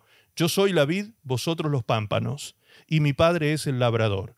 Aquel que dé fruto, mi Padre vendrá, lo limpiará para que dé más fruto. O sea, primer nivel, fruto. Segundo nivel, más fruto. Tercer nivel, versículo 5 dice que una vez que nosotros permanecemos en siendo obedientes a la palabra recibida, llegaremos a ser discípulos del Señor Jesucristo y daremos mucho fruto. Y cuando nos transformamos en discípulos, nos transformamos en siervos. Por eso es que en los versículos, en los últimos versículos, desde el 14 hasta el 16, el Señor Jesucristo les dice a ellos, ahora ustedes que son siervos, que ya han mantenido su servidumbre, su fidelidad eh, y su servicio hacia mí durante tres años, a ustedes que, han, que ya se transformaron en mis discípulos y en siervos del reino, ya no los llamaré más siervo, los voy a llamar amigos. Amigos. ¿Y por qué los iba a llamar amigos? Porque el siervo no sabe lo que su Señor piensa hacer, le dijo Jesús, pero a ustedes les serán dadas a conocer todas las cosas que mi Padre quiere que ustedes sepan y conozcan. Mi Padre les va a dar a conocer, le va a abrir los tesoros del cielo y les va a dar a conocer a través de revelación toda su voluntad para con ustedes. Entonces, la diferencia entre un creyente, un oyente, un creyente y un discípulo, ¿sí? es que Los creyentes solo creen, pero todavía no están obedeciendo. El discípulo cree, entiende y, acata, obedece la palabra. y el que obedece la palabra y permanece en el tiempo, se transforma en siervo. Y aquel que alcanza el nivel de siervo, el Señor Jesucristo a partir de ahí lo considera en su amigo, lo considera su amigo. Y a esa persona le abre el entendimiento para que pueda comprender su voluntad a otro nivel, con una profundidad mucho mayor. Se le revelan los planes de Dios, se le revela la escritura, se le abre el entendimiento para que la escritura le sea clara y entendible a esta persona. Es decir, el entendimiento será progresivo y será prosperado en la medida que nosotros mantengamos comunión con el Espíritu Santo, con el Espíritu de Cristo, con el Señor, mantengamos comunión permanente. ¿Sí? De no romper nuestra comunión con Él, de no alejarnos de Él, de no enfriar nuestra fe, entibiar nuestra relación con Dios, eso hace que nosotros vivamos con la mente y el entendimiento espiritual embotado. La persona que vive en ese estado hace tonterías, necedades, vive insensatamente, porque no tiene revelación, porque no se le abre el entendimiento, porque no lo buscó. No lo buscó por medio de la obediencia, el querer entender, querer comprender, esforzarse. ¿Sí? Esto que uno recibe de Dios, la revelación que recibe de Dios, no es que de pronto lo tocó una varita mágica y o era una persona que nació con una inteligencia superior. No, hermanos. La Biblia no dice eso. La Biblia dice que Dios escogió lo vil, como yo. Vil, menospreciado, lo que no es. ¿Sí? Lo que no es, para avergonzar lo que es. Es decir, en Cristo Jesús nosotros podemos obtener sabiduría, en Él desarrollamos inteligencia espiritual, a través de Él comprendemos y también desarrollamos la solución para estas, estas problemáticas que el hombre tiene por el conocimiento y entendimiento que Dios nos da. Porque saben que, lamentablemente, este estudio científico, social, que se llevó a cabo con esta cantidad de científicos que analizaron las necesidades humanas, descubrieron las necesidades. Y también descubrieron, estudiaron obviamente a partir de las necesidades, buscaron los satisfactores. Y como las necesidades eran intangibles, los, satisfactores también lo son. Cuando digo intangible me refiero a que no son materiales, no son palpables, no los podemos tocar. Entonces, ¿a qué, ¿a qué mundo pertenecen esas cosas intangibles? Al mundo de las cosas que no se ven. ¿Y quiénes son los que manejan el mundo de lo que no se ve? Nosotros los hijos de Dios, los que no andamos por vista, sino por fe. Nosotros somos los a quienes Dios le ha dado el entendimiento para ver lo que no se ve, para desarrollar lo que el hombre no puede desarrollar como no puede el hombre ser usina de amor, porque el amor de Dios se perfecciona en los hijos de Dios y no en el hombre natural. El hombre natural solo puede desarrollar amor filio y amor eros, un amor erótico, físico, sexual y un amor de tipo relacional, pero el amor de Dios no lo puede desarrollar. En cambio, nosotros los hijos de Dios, dice Romanos 5:5, que el Espíritu Santo ha derramado el amor de Dios en nuestros corazones. Otro de los grandes satisfactores. Recuerdan que una de las necesidades era necesidad de afecto. Bien, en Cristo Jesús tenemos suplido también esa necesidad. Por último, decíamos recién que el apóstol Pablo intercedió, pidió por otros, pidió por los de Éfeso, pidió por los de, Colosas, pidió por los hermanos de todas las iglesias, para que Dios le diera sabiduría, entendimiento, revelación, espíritu de sabiduría y conocimiento en él. Es decir, que la oración intercesora puede desarrollar la visión más clara en otra persona que está recién llegando al Señor. Pero ¿qué pasa si no hay un Pablo que ore por nosotros? ¿Qué pasa si no hay un hermano mayor que piensa que esa es una necesidad que nosotros tendríamos que ser, que tendríamos que tenerla suplida y no está prestando atención en la intercesión, no está orando por nosotros en esa dirección? ¿Qué pasa? Bien, Gracias a Dios, Santiago 1.5 dejó dejó escrita la solución. Allí en Santiago 1.5 dice, si alguno de vosotros tiene falta de sabiduría, ¿Qué tiene que hacer? Pídala a Dios, el cual da a todos abundantemente y sin reproche, y le será dada. Pídale a Dios. Tú y yo podemos pedir a Dios sabiduría. Necesitamos sabiduría para vivir esta vida y en este mundo tan complejo, tan enmarañado, moderno, con tantas eh, idas y venidas y cruces ideológicos, yo veo tan, con tanta tristeza a veces observo familias que están divididas por cuestiones políticas. Políticas. Políticas. O sea, no, que yo soy de derecha, el otro no, yo soy del centro, yo soy de izquierda, y, se pelean entre ellos y, se, pelean a muerte, se odian muchas veces por ideologías políticas, tratando de defender cuestiones de supuestamente hombres que los representan a ellos en el gobierno. ¿Tú crees que le importas algo tú a ese hombre que está en el gobierno? Tristemente, muy tristemente, no es así. El hombre siempre defraudó al hombre en ese sentido.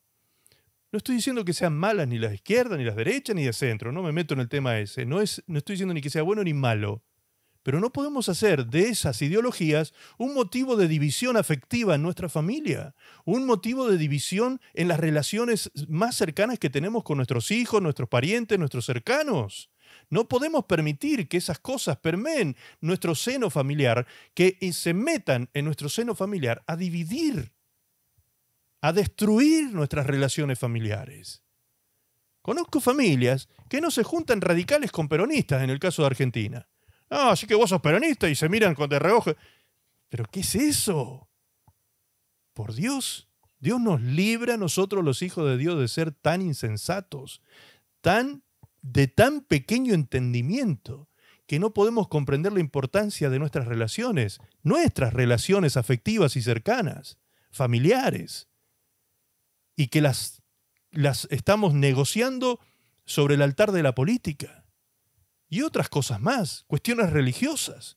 Ah, no, yo contigo no hablo porque tú crees en la Trinidad. Ah, no, yo contigo no hablo porque tú guardas el sábado. Contigo no hablo porque guardas el domingo. Hay cantidad de tonterías, insensateces que muchas veces dividen nuestras familias. ¿Por qué? Por falta de entendimiento. Eso es un acto de insensatez. Por falta de entendimiento. Entonces, pidamos a Dios. Si no hay un tercero que ore por nosotros, no te preocupes, pídele a Dios y Dios te la dará. Dios te dará sabiduría. No tengas temor. Ay, no, es que yo no tengo ni la primaria terminada. ¿Y quién te dijo a ti que la sabiduría depende de saber leer y escribir? ¿Quién te dijo eso? Eso no tiene nada que ver. Una cosa es la inteligencia analítica, matemática, literal, ese tipo de inteligencia. Otra cosa es la sabiduría para vivir. Hay gente que no sabe ni leer ni escribir y es sumamente sabia para vivir.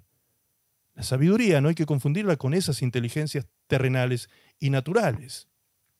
Ahora, la sabiduría que nos da Dios, por supuesto que es una sabiduría que nos ayudará a mirar por encima de las otras sabidurías terrenales y humanas, porque la sabiduría de Dios es sublime, es suprema, es, superior, está por encima de nuestras sabidurías terrenales y humanas. Vamos a la 5. Estoy hablando rápido, hermanos, y, rapidísimo porque son 10 y vamos recién por las 5, ¿sí? Ya vamos a ir, eh, ya vamos apuntando hacia el final. La creatividad, otra de las necesidades humanas vitales, la creatividad. ¿Qué significa esto? Pues la facultad de crear, la capacidad de creación, de invención, ¿sí?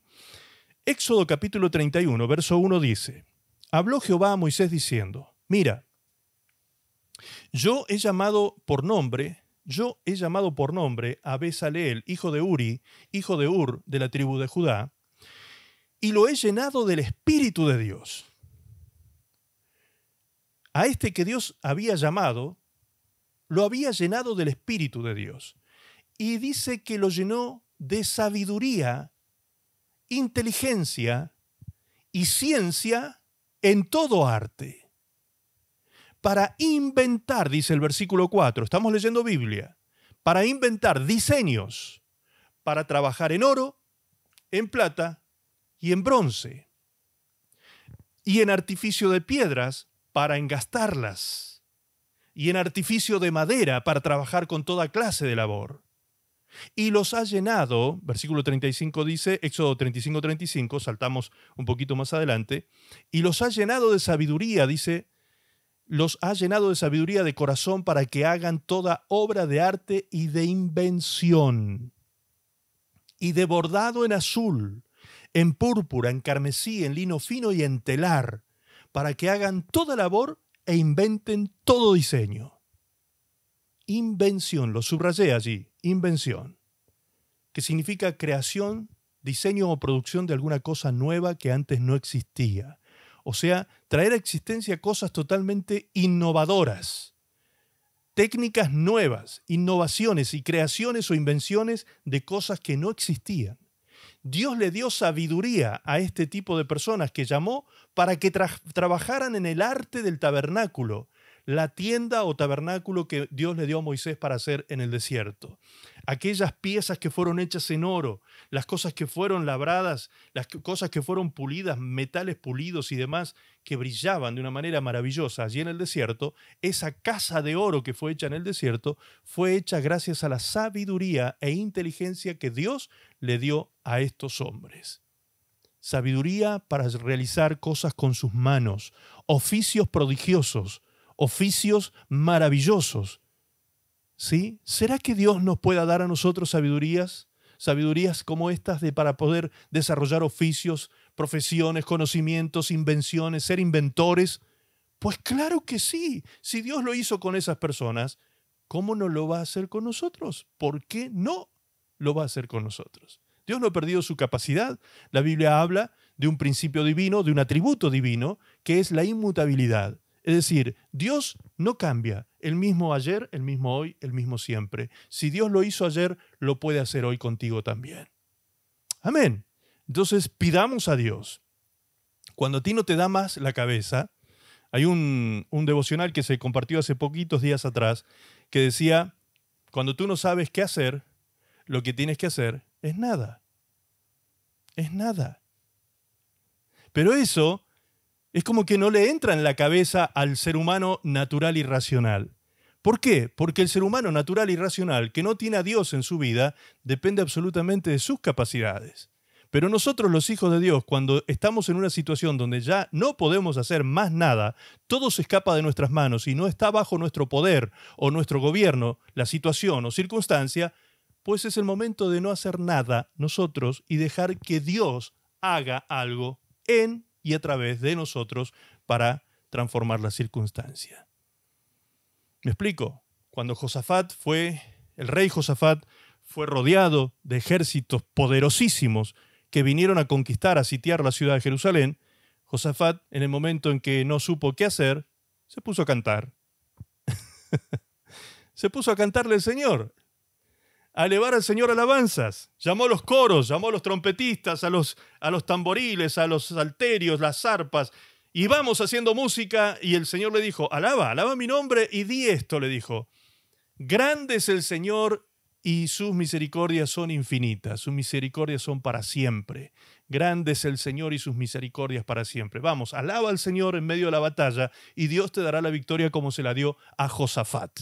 Eso está diciéndonos el Señor allí. Cuando tú ya no sabes qué hacer, no hagas nada, solo descansa en Dios. El Señor mismo dice, estad quietos, estad quietos, haced silencio, mirad y ved la salvación de Jehová, dice Dios. ¿Cómo yo los voy a salvar? Ustedes quietos. Cuando llega un momento así donde tú no puedes hacer absolutamente nada, aquieta tu espíritu, sosiega tu alma, llama tus pensamientos a la paz Deja absolutamente esa circunstancia o situación en las manos de Dios y vas a ver cómo tu Dios Todopoderoso va a llevar a cabo un acto milagroso, una intervención divina que tú mismo vas a quedar sorprendido y con la boca abierta. La mandíbula inferior tocando el piso, ¿sí? Por causa de la sorpresa que te vas a llevar de cómo actúa Dios. Pero para eso Primero hay que tener identidad. Primero hay que ser hijo. Aquel que no es hijo no puede pedir a alguien que no es su padre. Dios Padre responde como padre a sus hijos. Él dice que está atento a la oración de sus hijos, atento al clamor de sus hijos. Dios está atento y Dios no es un padre abandónico, que te quede claro eso. Dios no es un padre abandónico. Eh, pero pastor, yo hace mucho tiempo que le estoy pidiendo a Dios que cambie esta circunstancia. Ah, pero eso es otra cosa. Cuando la circunstancia no cambia, presta atención a esto que te voy a decir porque esto es sabiduría de lo alto, esto es inteligencia espiritual. Cuando la circunstancia no cambia, en muchas ocasiones la circunstancia permanece, permanece, permanece y no cambia, ¿Sabes por qué Dios no está interviniendo? Porque en realidad lo que Dios quiere no es que, cambies la, que tú cambies esa circunstancia o que esa circunstancia eh, se transforme en algo positivo, sino que Dios está permitiendo esa circunstancia para cambiarte a ti. Tú le estás pidiendo a Dios que cambie esa circunstancia, pero en realidad lo que Dios está queriendo es que la circunstancia te ayude a ti a cambiar, a tener una visión diferente de las cosas y de la vida. ¿Me explico? Avanzamos al punto número 6, libertad. Bien, estamos avanzando al punto número 6. La necesidad. Número 6 es la libertad. Necesidad de libertad. Hemos visto hasta aquí que todas las cinco anteriores, a todas Dios nos suple esas necesidades en Cristo Jesús.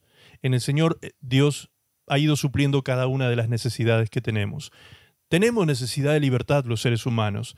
El diccionario dice acerca de la libertad que es la facultad natural que tiene el hombre de obrar o de obrar de una manera u otra o de otra y de no obrar inclusive por lo que es responsable de sus actos.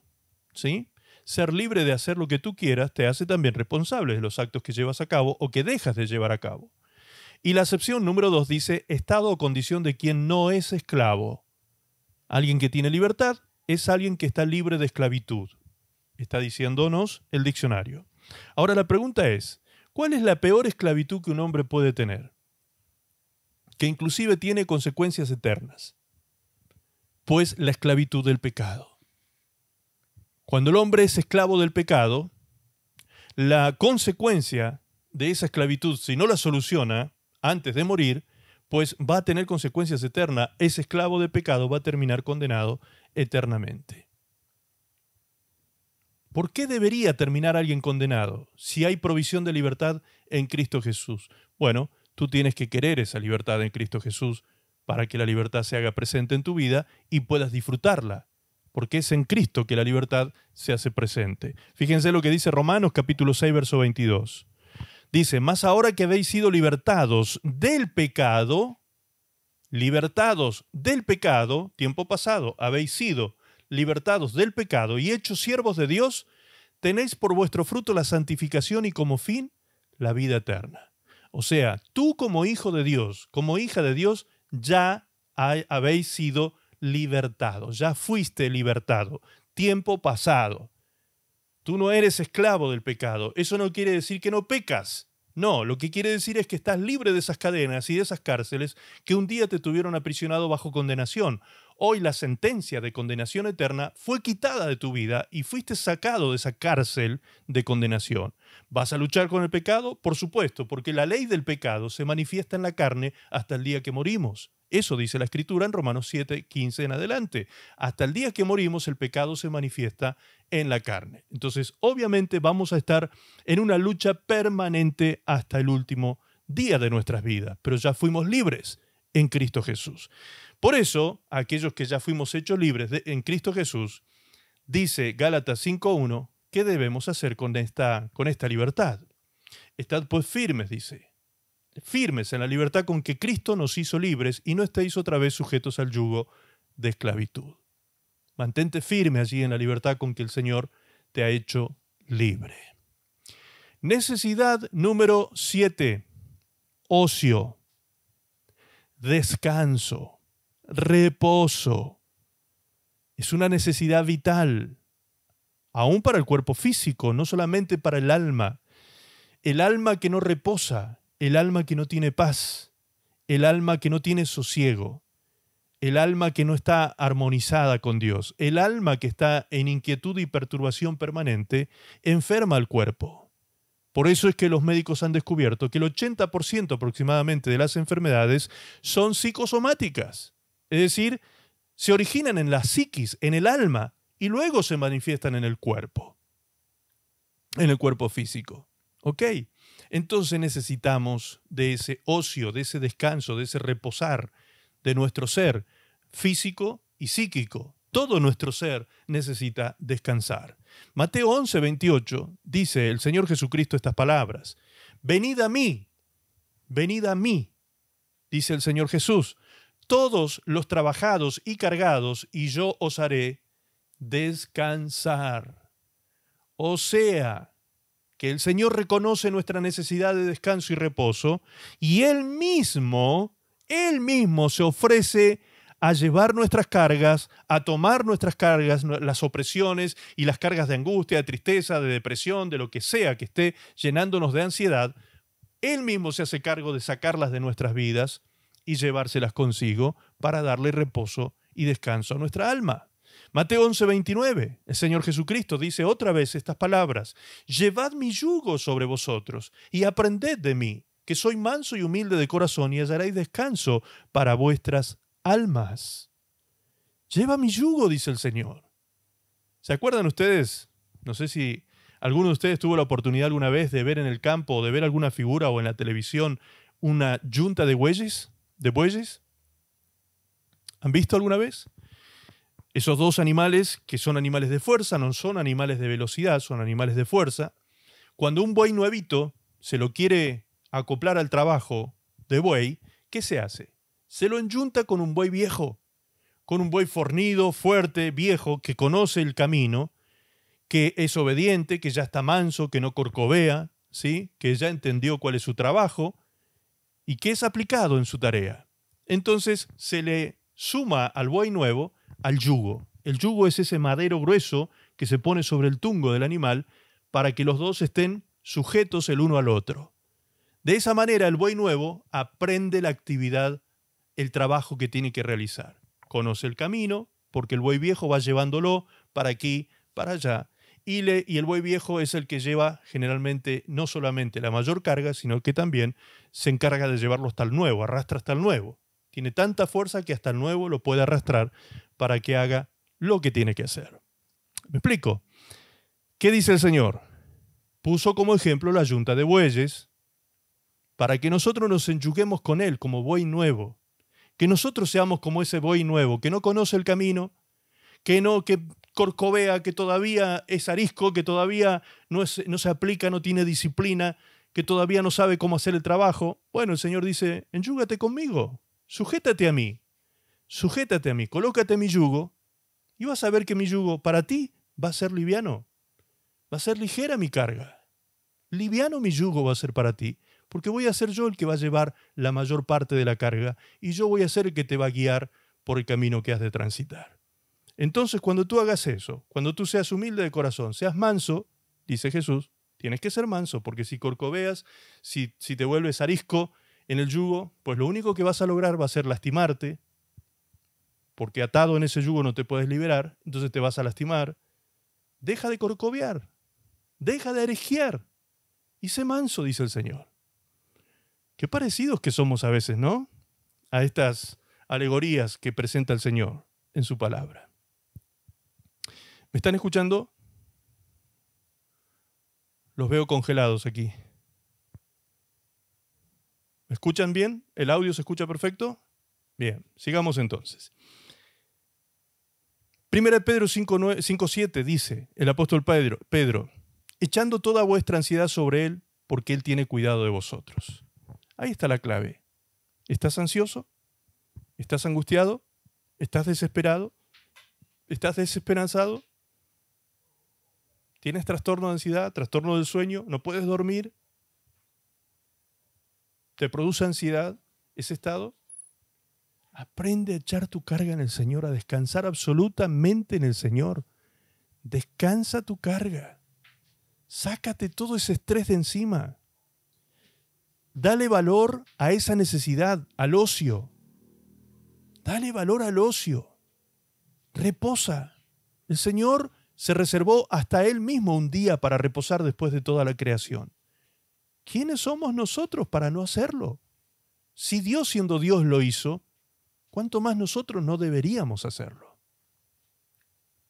Ocio, descanso, reposo, no solo físico, sino sobre todas las cosas espiritual y almático. Sacarnos de encima toda esa carga y ponerla en las manos del Señor. Número 8. Afecto. Afecto.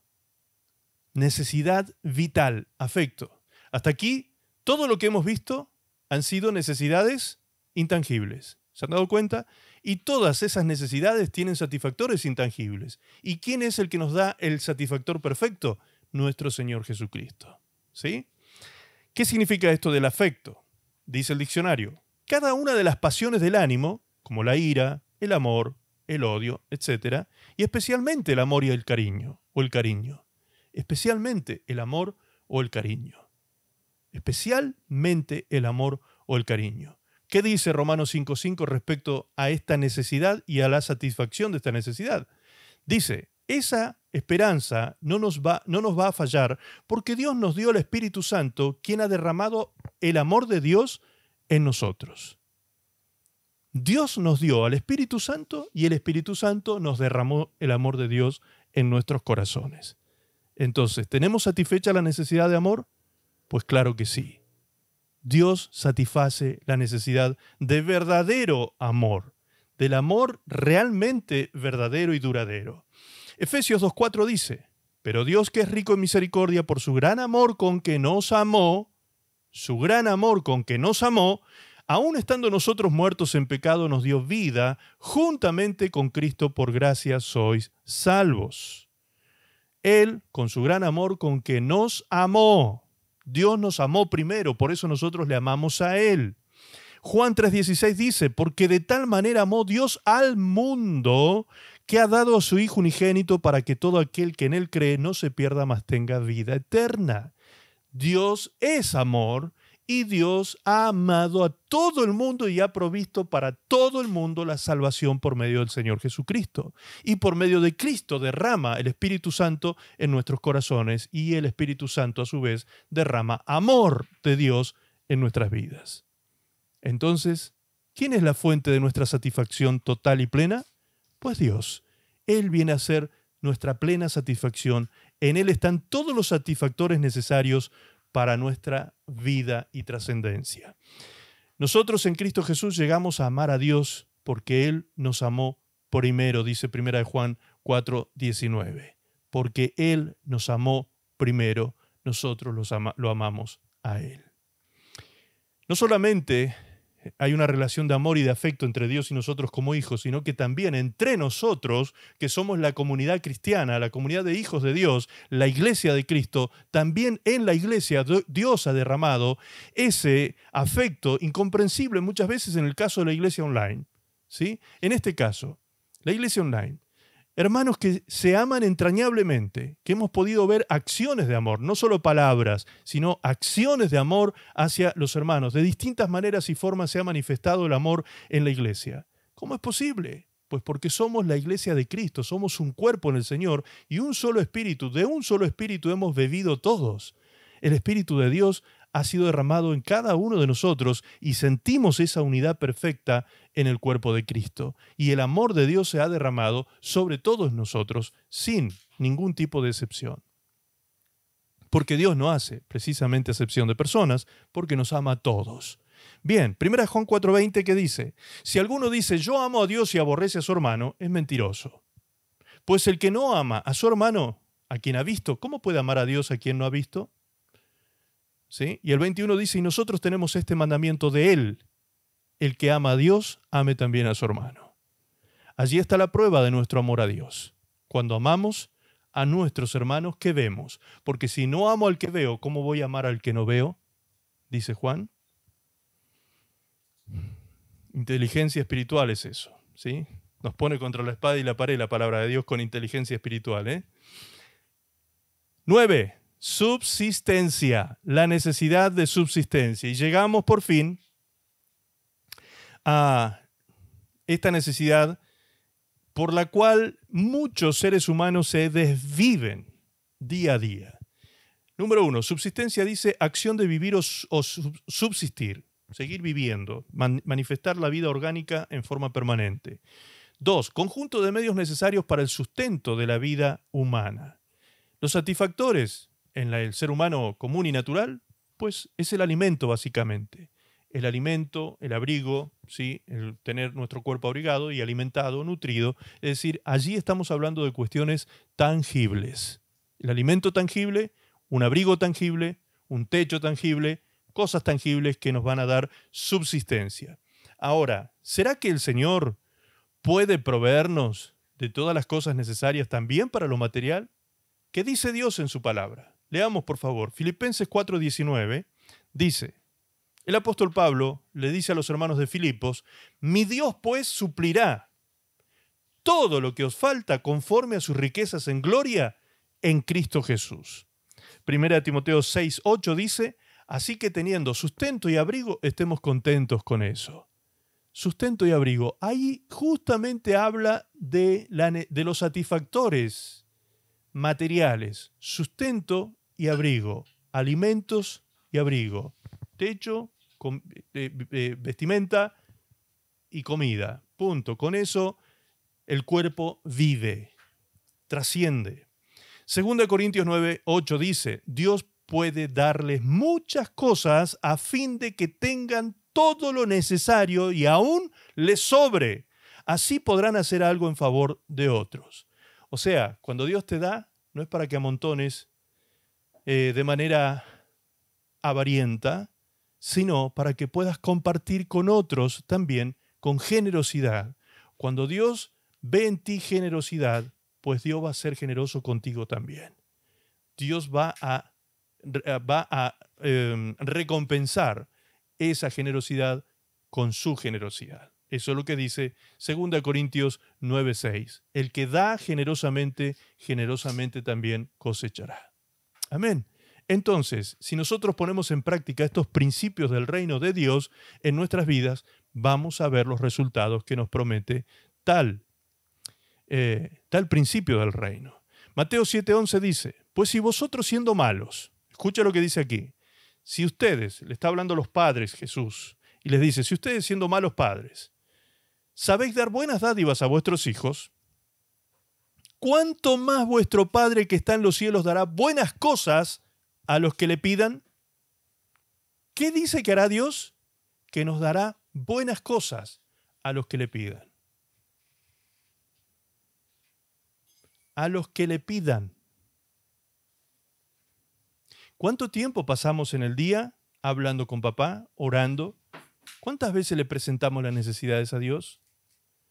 ¿Cuántas veces somos bíblicos al presentar nuestras oraciones? ¿Sabemos orar? ¿Sabemos pedir? Tenemos que hacernos todas esas preguntas para ser efectivos a la hora de pedir. Tenemos que aprender esos, esos principios, esos misterios de la oración, porque la Biblia dice claramente, dice claramente, pedís y no recibís porque pedís mal. Lo dice la palabra de Dios. Pedís y no recibís porque pedís mal. Entonces, hay una manera de pedir bien y de recibir.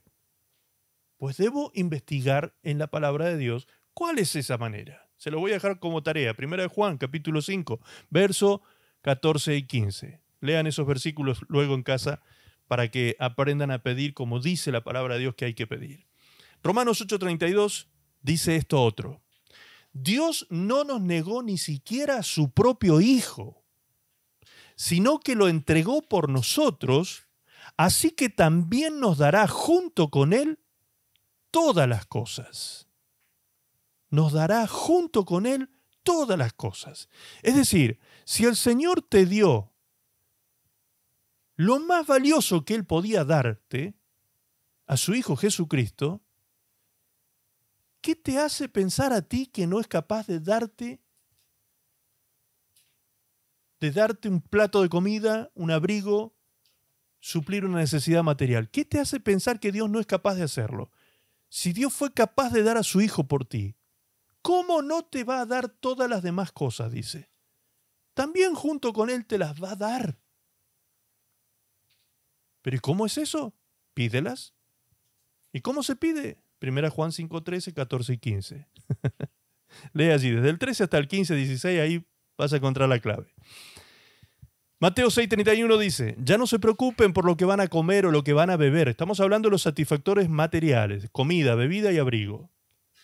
No se preocupen por lo que van a comer o lo que van a beber. O por la ropa que se van a poner. Fíjense qué clarito que es este texto habla precisamente de los satisfactores para la subsistencia material y biológica. Solo los que no conocen a Dios se preocupan por eso. ¡Ah! ¡Qué fuerte eso! ¡Qué fuerte! ¿Quién es el que se preocupa por esas cosas? El que no conoce a Dios. eso me está midiendo. Esa vara me está doliendo. Porque si yo me preocupo por esas cosas, pues todavía no conozco a Dios en su plenitud. Ay, ay, ay. Entonces, ¿qué tengo que hacer? Conocer más a mi papá. Conocer más a nuestro Dios. Comprender la naturaleza del amor de Dios hacia sus hijos. Y confiar en Él.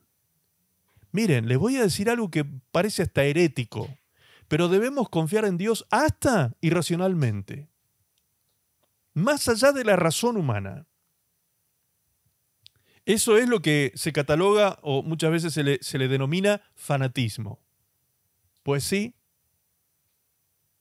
confíe ciegamente en Dios como un fanático y va a ver que Dios nunca lo va a defraudar.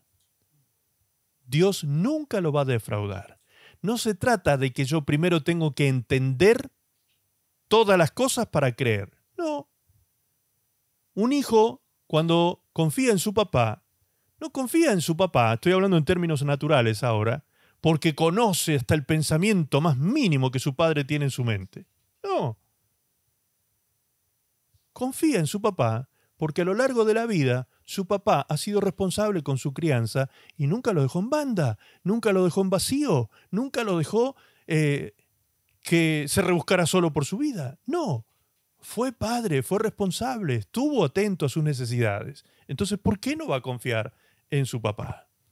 Bien, esa misma comparación el Señor Jesucristo la hizo aquí. Dijo, si ustedes son malos, como seres humanos son pecadores, y aún así, cuando sus hijos tienen necesidades, ustedes les dan buenas cosas, ¿cuánto más vuestro Padre Celestial no será bueno con ustedes y les dará para todas vuestras necesidades?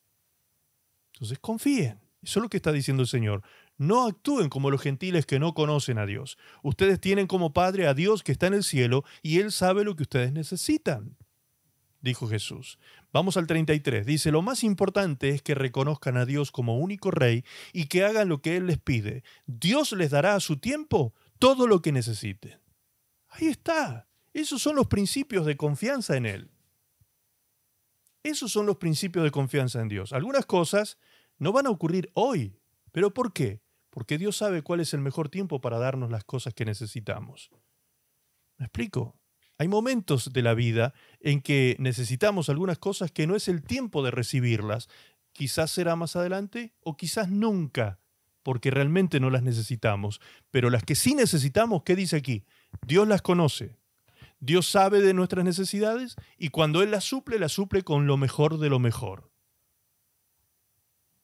¿Me explico? Entonces, ¿por qué no confiar en la providencia de Dios? Y por último, trascendencia. Llegamos a la última necesidad, la necesidad de trascendencia. Qué bonito quedaba el título ahí en el zócalo recién cuando ponían los, las palabras. Eso así. Muy bonito queda eso para que nos quede grabado esa imagen, se nos grabe esa imagen. Trascendencia. ¿Qué significa trascendencia según el diccionario? Aquello que está más allá de los límites naturales aquello que está más allá de los límites naturales. Algunas religiones creen que eh, trascender por medio de la reencarnación. ¿Sí? Por ejemplo, el budismo. Ellos creen que van a trascender en otras personas o en cosas o en animales inclusive en esta tierra.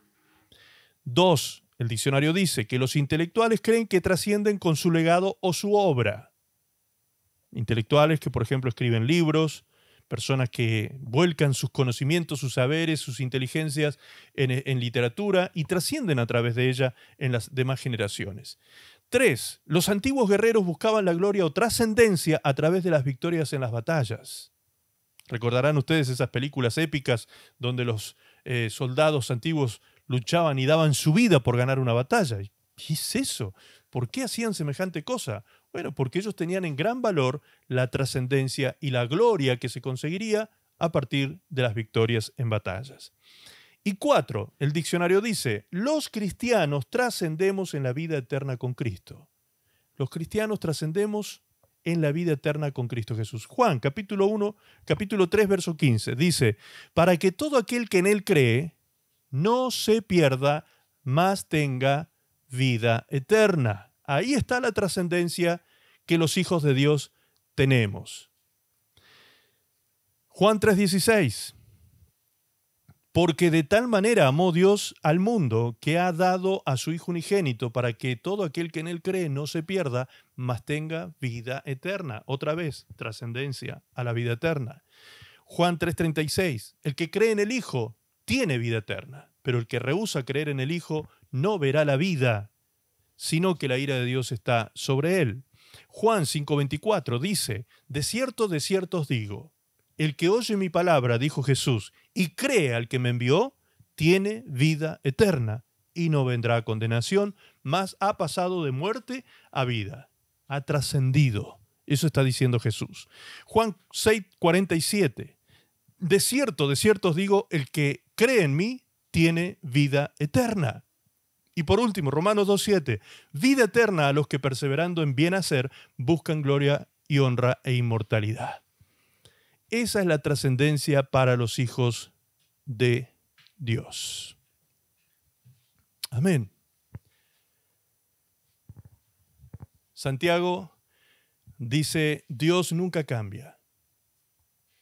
Fue Dios quien creó todas las estrellas del cielo y es quien nos da todo lo bueno y todo lo perfecto. Es Dios quien nos da todo lo bueno y todo lo perfecto, dice Santiago. Y Dios no cambia. Dios es inmutable. No hay en Él sombra de variación.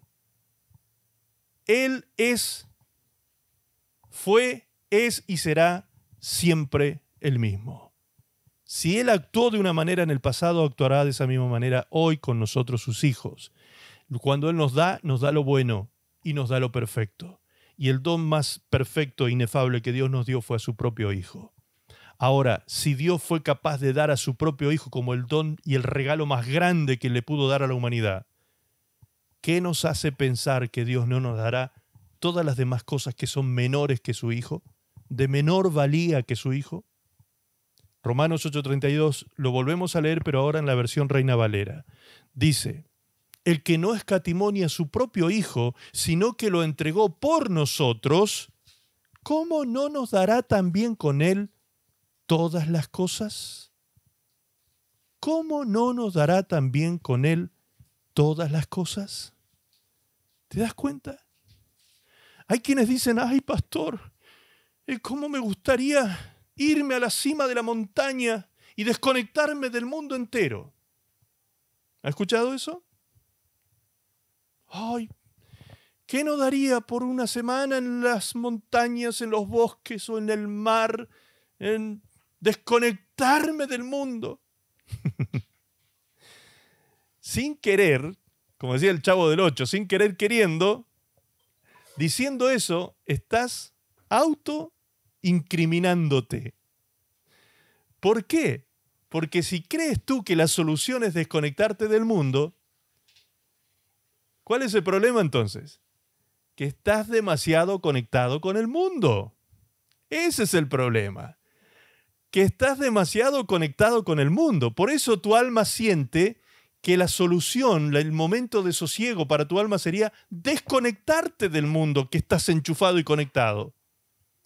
Desconéctate del mundo, pero hazlo permanentemente. No vivas conectado con el mundo, su forma, su ideología, sus corrientes, su manera de pensar.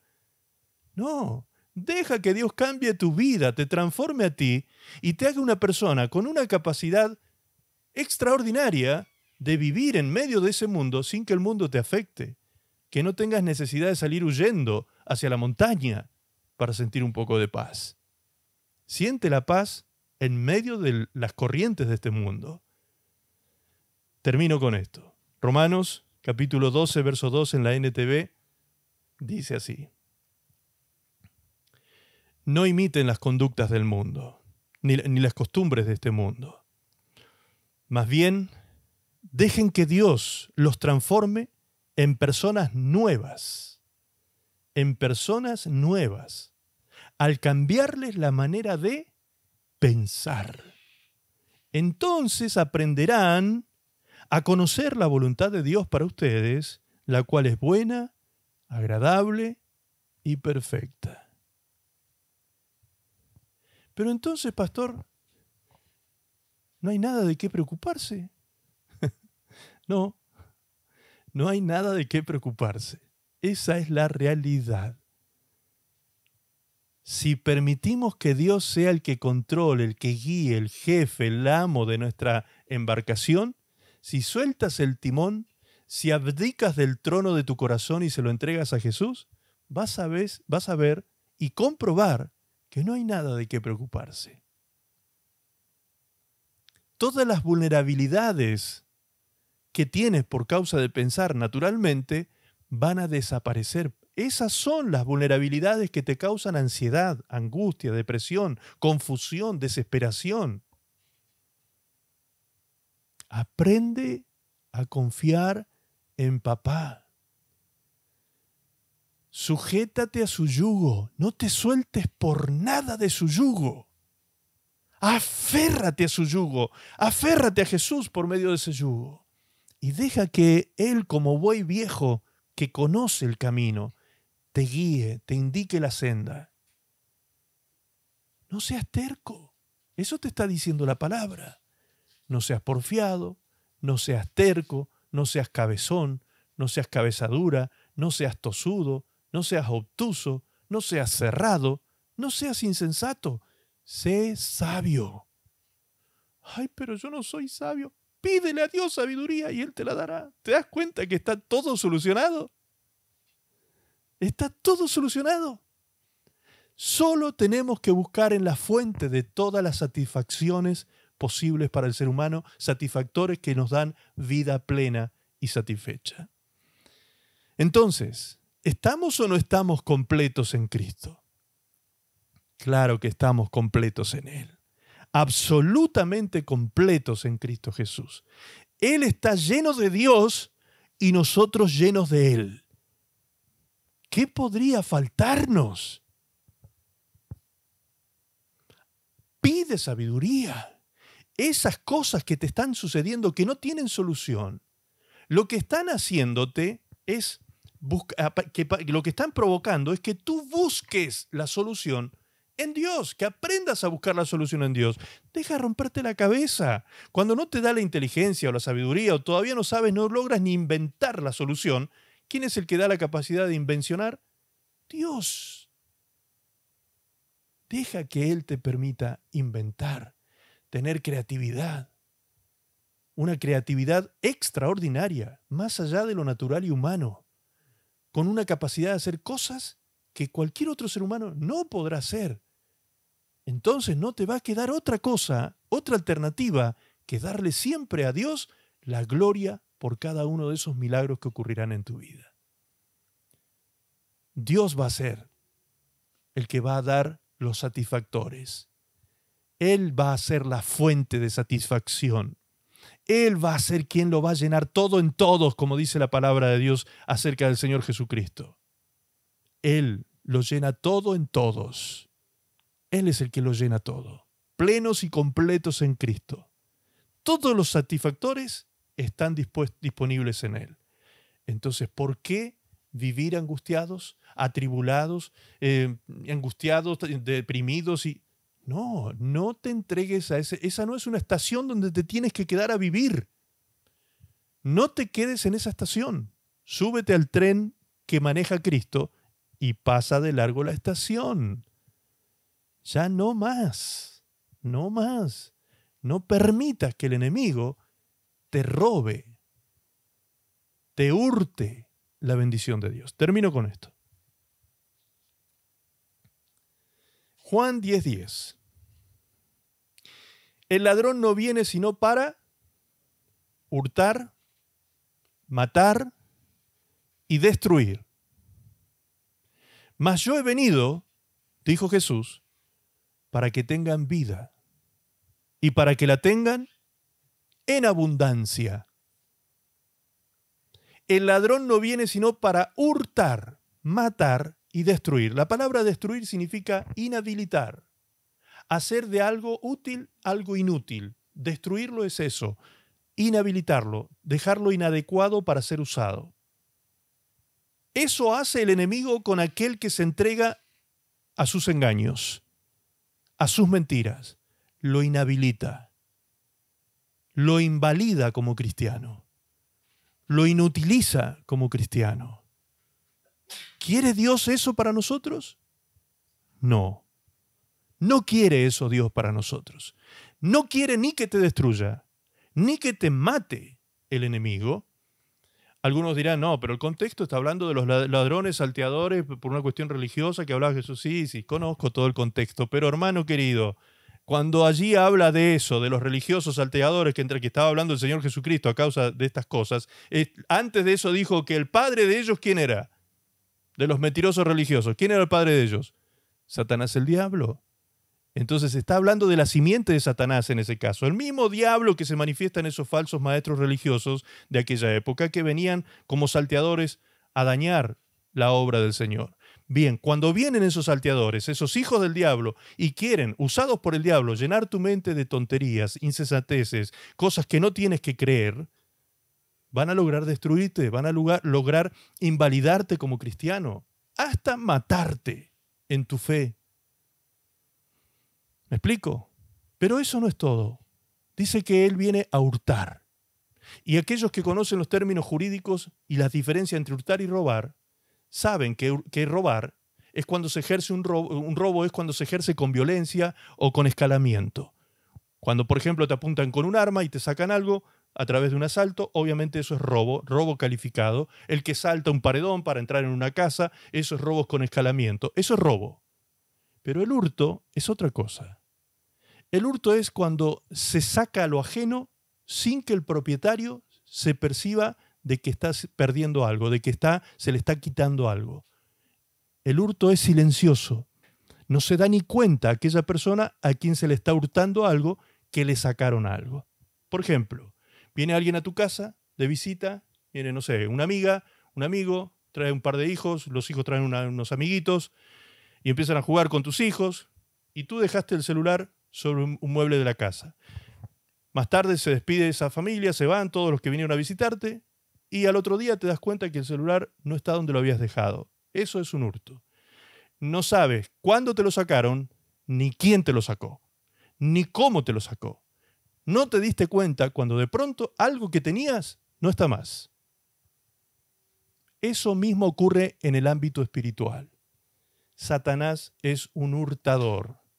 Él no viene con un arma, ponerte el arma en la cabeza para asustarte, amedrentarte y sacarte las cosas espirituales. No, Él trabaja sigilosamente, esperando tu descuido, esperando que tú no te des cuenta, que no estés atento a una situación para sacarte algo precioso que había en tu vida. Aquí mismo hay gente que un día tuvo mucha paz, mucho gozo en su vida, en su corazón, y quizás un día lo perdiste. ¿Sabes cuándo lo perdiste? ni te acuerdas. Ni te acuerdas cómo perdiste tantas cosas bellas en la vida a veces. ¿Por qué? Porque el ladrón te lo hurtó. No te diste cuenta cuando te sacó esa bendición que había en tu vida. Entonces el Señor Jesucristo dice, cuidado con el ladrón, cuidado con él. Él viene a destruir, pero yo he venido a darles vida y vida en abundancia. ¿Cuántos quieren recibir esa vida abundante? que no es una vida de abundante en cosas, ¿sí? como muchas veces se tuerce ese versículo bíblico para hablar de cuestiones de prosperidad financiera. Nada que ver con eso. La vida abundante es la vida eterna. Eso es una vida abundante. Mucha vida es vida eterna. Yo quiero la vida eterna. Yo quiero que la eternidad de Dios se meta en mi vida y que la empiece a vivir desde ahora, como dice Romanos 5:17. Allí dice que nosotros los que hemos recibido la gracia de Jesucristo en nuestras vidas, reinamos con Él en vida. Es decir, desde ahora empezamos a reinar en vida. Disfrutemos desde ahora la vida de Cristo en nosotros. Dejemos que Cristo se nos meta en las venas, en las células, en nuestro sistema nervioso, en todo nuestro ser. Dejemos que Cristo se meta en nuestra vida. ¿Cuántos dicen amén? Él es el mayor de los satisfactores. Él es la fuente. El Padre Celestial nos ha amado con amor eterno. Y Él está esperando que tú vayas a su regazo, lleves acción de gracias, lleves adoración, y también tus peticiones.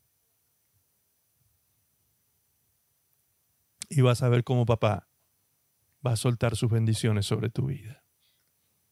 Aprendamos a depender del verdadero satisfactor, de la verdadera fuente de toda bendición.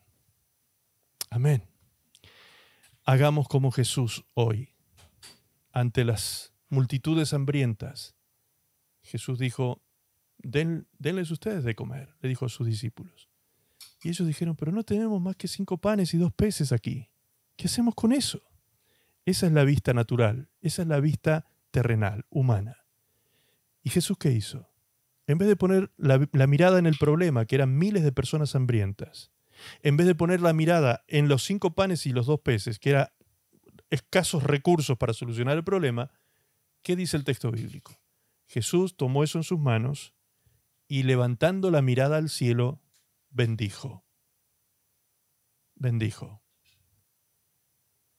Cuando tú estás en un problema, cuando yo estoy en un problema, ¿qué hacía yo cuando no entendía que Dios era el satisfactor de todo en mi vida? ¿Qué hacía yo? Mantenía mis ojos en el problema. No levantaba la mirada al cielo. miraba el problema y analizaba el problema a ver cómo lo podía solucionar. Y cuando medía el problema, presupuestaba la solución. ¿Sí? Sacaba cuentas a ver cuánto me iba a costar la, la solución.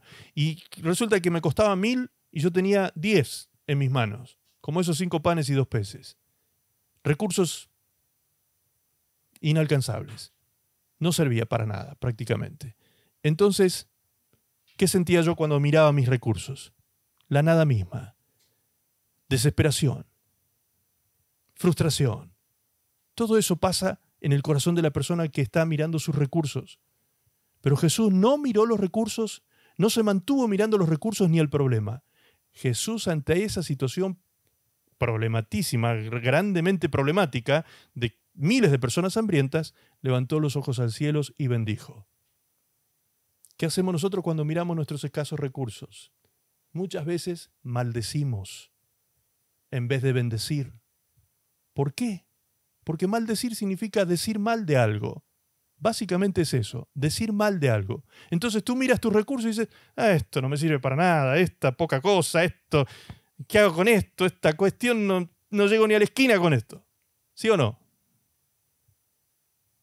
Pero si no te quejas y miras al cielo y bendices lo poco que tienes en tu mano, vas a ver que con una vara vas a abrir un mar.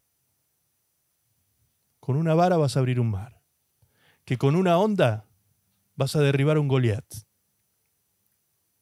Te vas a dar cuenta que en las manos de Dios tú vas a hacer proezas, grandes cosas en las manos de Dios. Amén y amén. Creo que ha quedado claro por hoy, ¿no? Suficiente dosis de palabra de Dios para este día. Damos gracias a Dios por esta palabra preciosa. Damos gracias a Dios por este recurso divino que es su palabra y que nos alimenta en la fe y nos fortalece en la fe. Nos abre el entendimiento, cambia nuestra manera de pensar para que cambie nuestra manera de vivir. Gloria a Dios. Damos gracias al Señor. Por favor, un momento de oración. Le voy a pedir a Verónica Verónica, por favor, de Santiago, que esté orando y dando gracias al Señor por esta palabra. Padre, te damos las gracias por esta tarde, Señor, que ha sido un bálsamo tu palabra. A través del pastor, Señor, tú lo has usado, Padre, para entregar aliento a nuestras vidas, para que tu palabra se arraigue en nuestros corazones a través de tu Espíritu Santo. Señor, yo te pido, Padre, que la obra que comenzaste en cada uno de nosotros la vayas perfeccionando el día a día. Gracias, Señor, por esta palabra poderosa. Gracias porque nos trae descanso a nuestra alma, nos trae liberación, sanidad, Señor, a nuestro cuerpo, a nuestra, a nuestra alma, a nuestra mente. Gracias, Señor, que cada uno tengamos la capacidad, Señor, de aferrarnos el día a día de ti, Señor, y no claudicar en estos tiempos que son hostiles, que son difíciles y que, como dice tu palabra, Satanás anda como león rugiente buscando a quien devorar.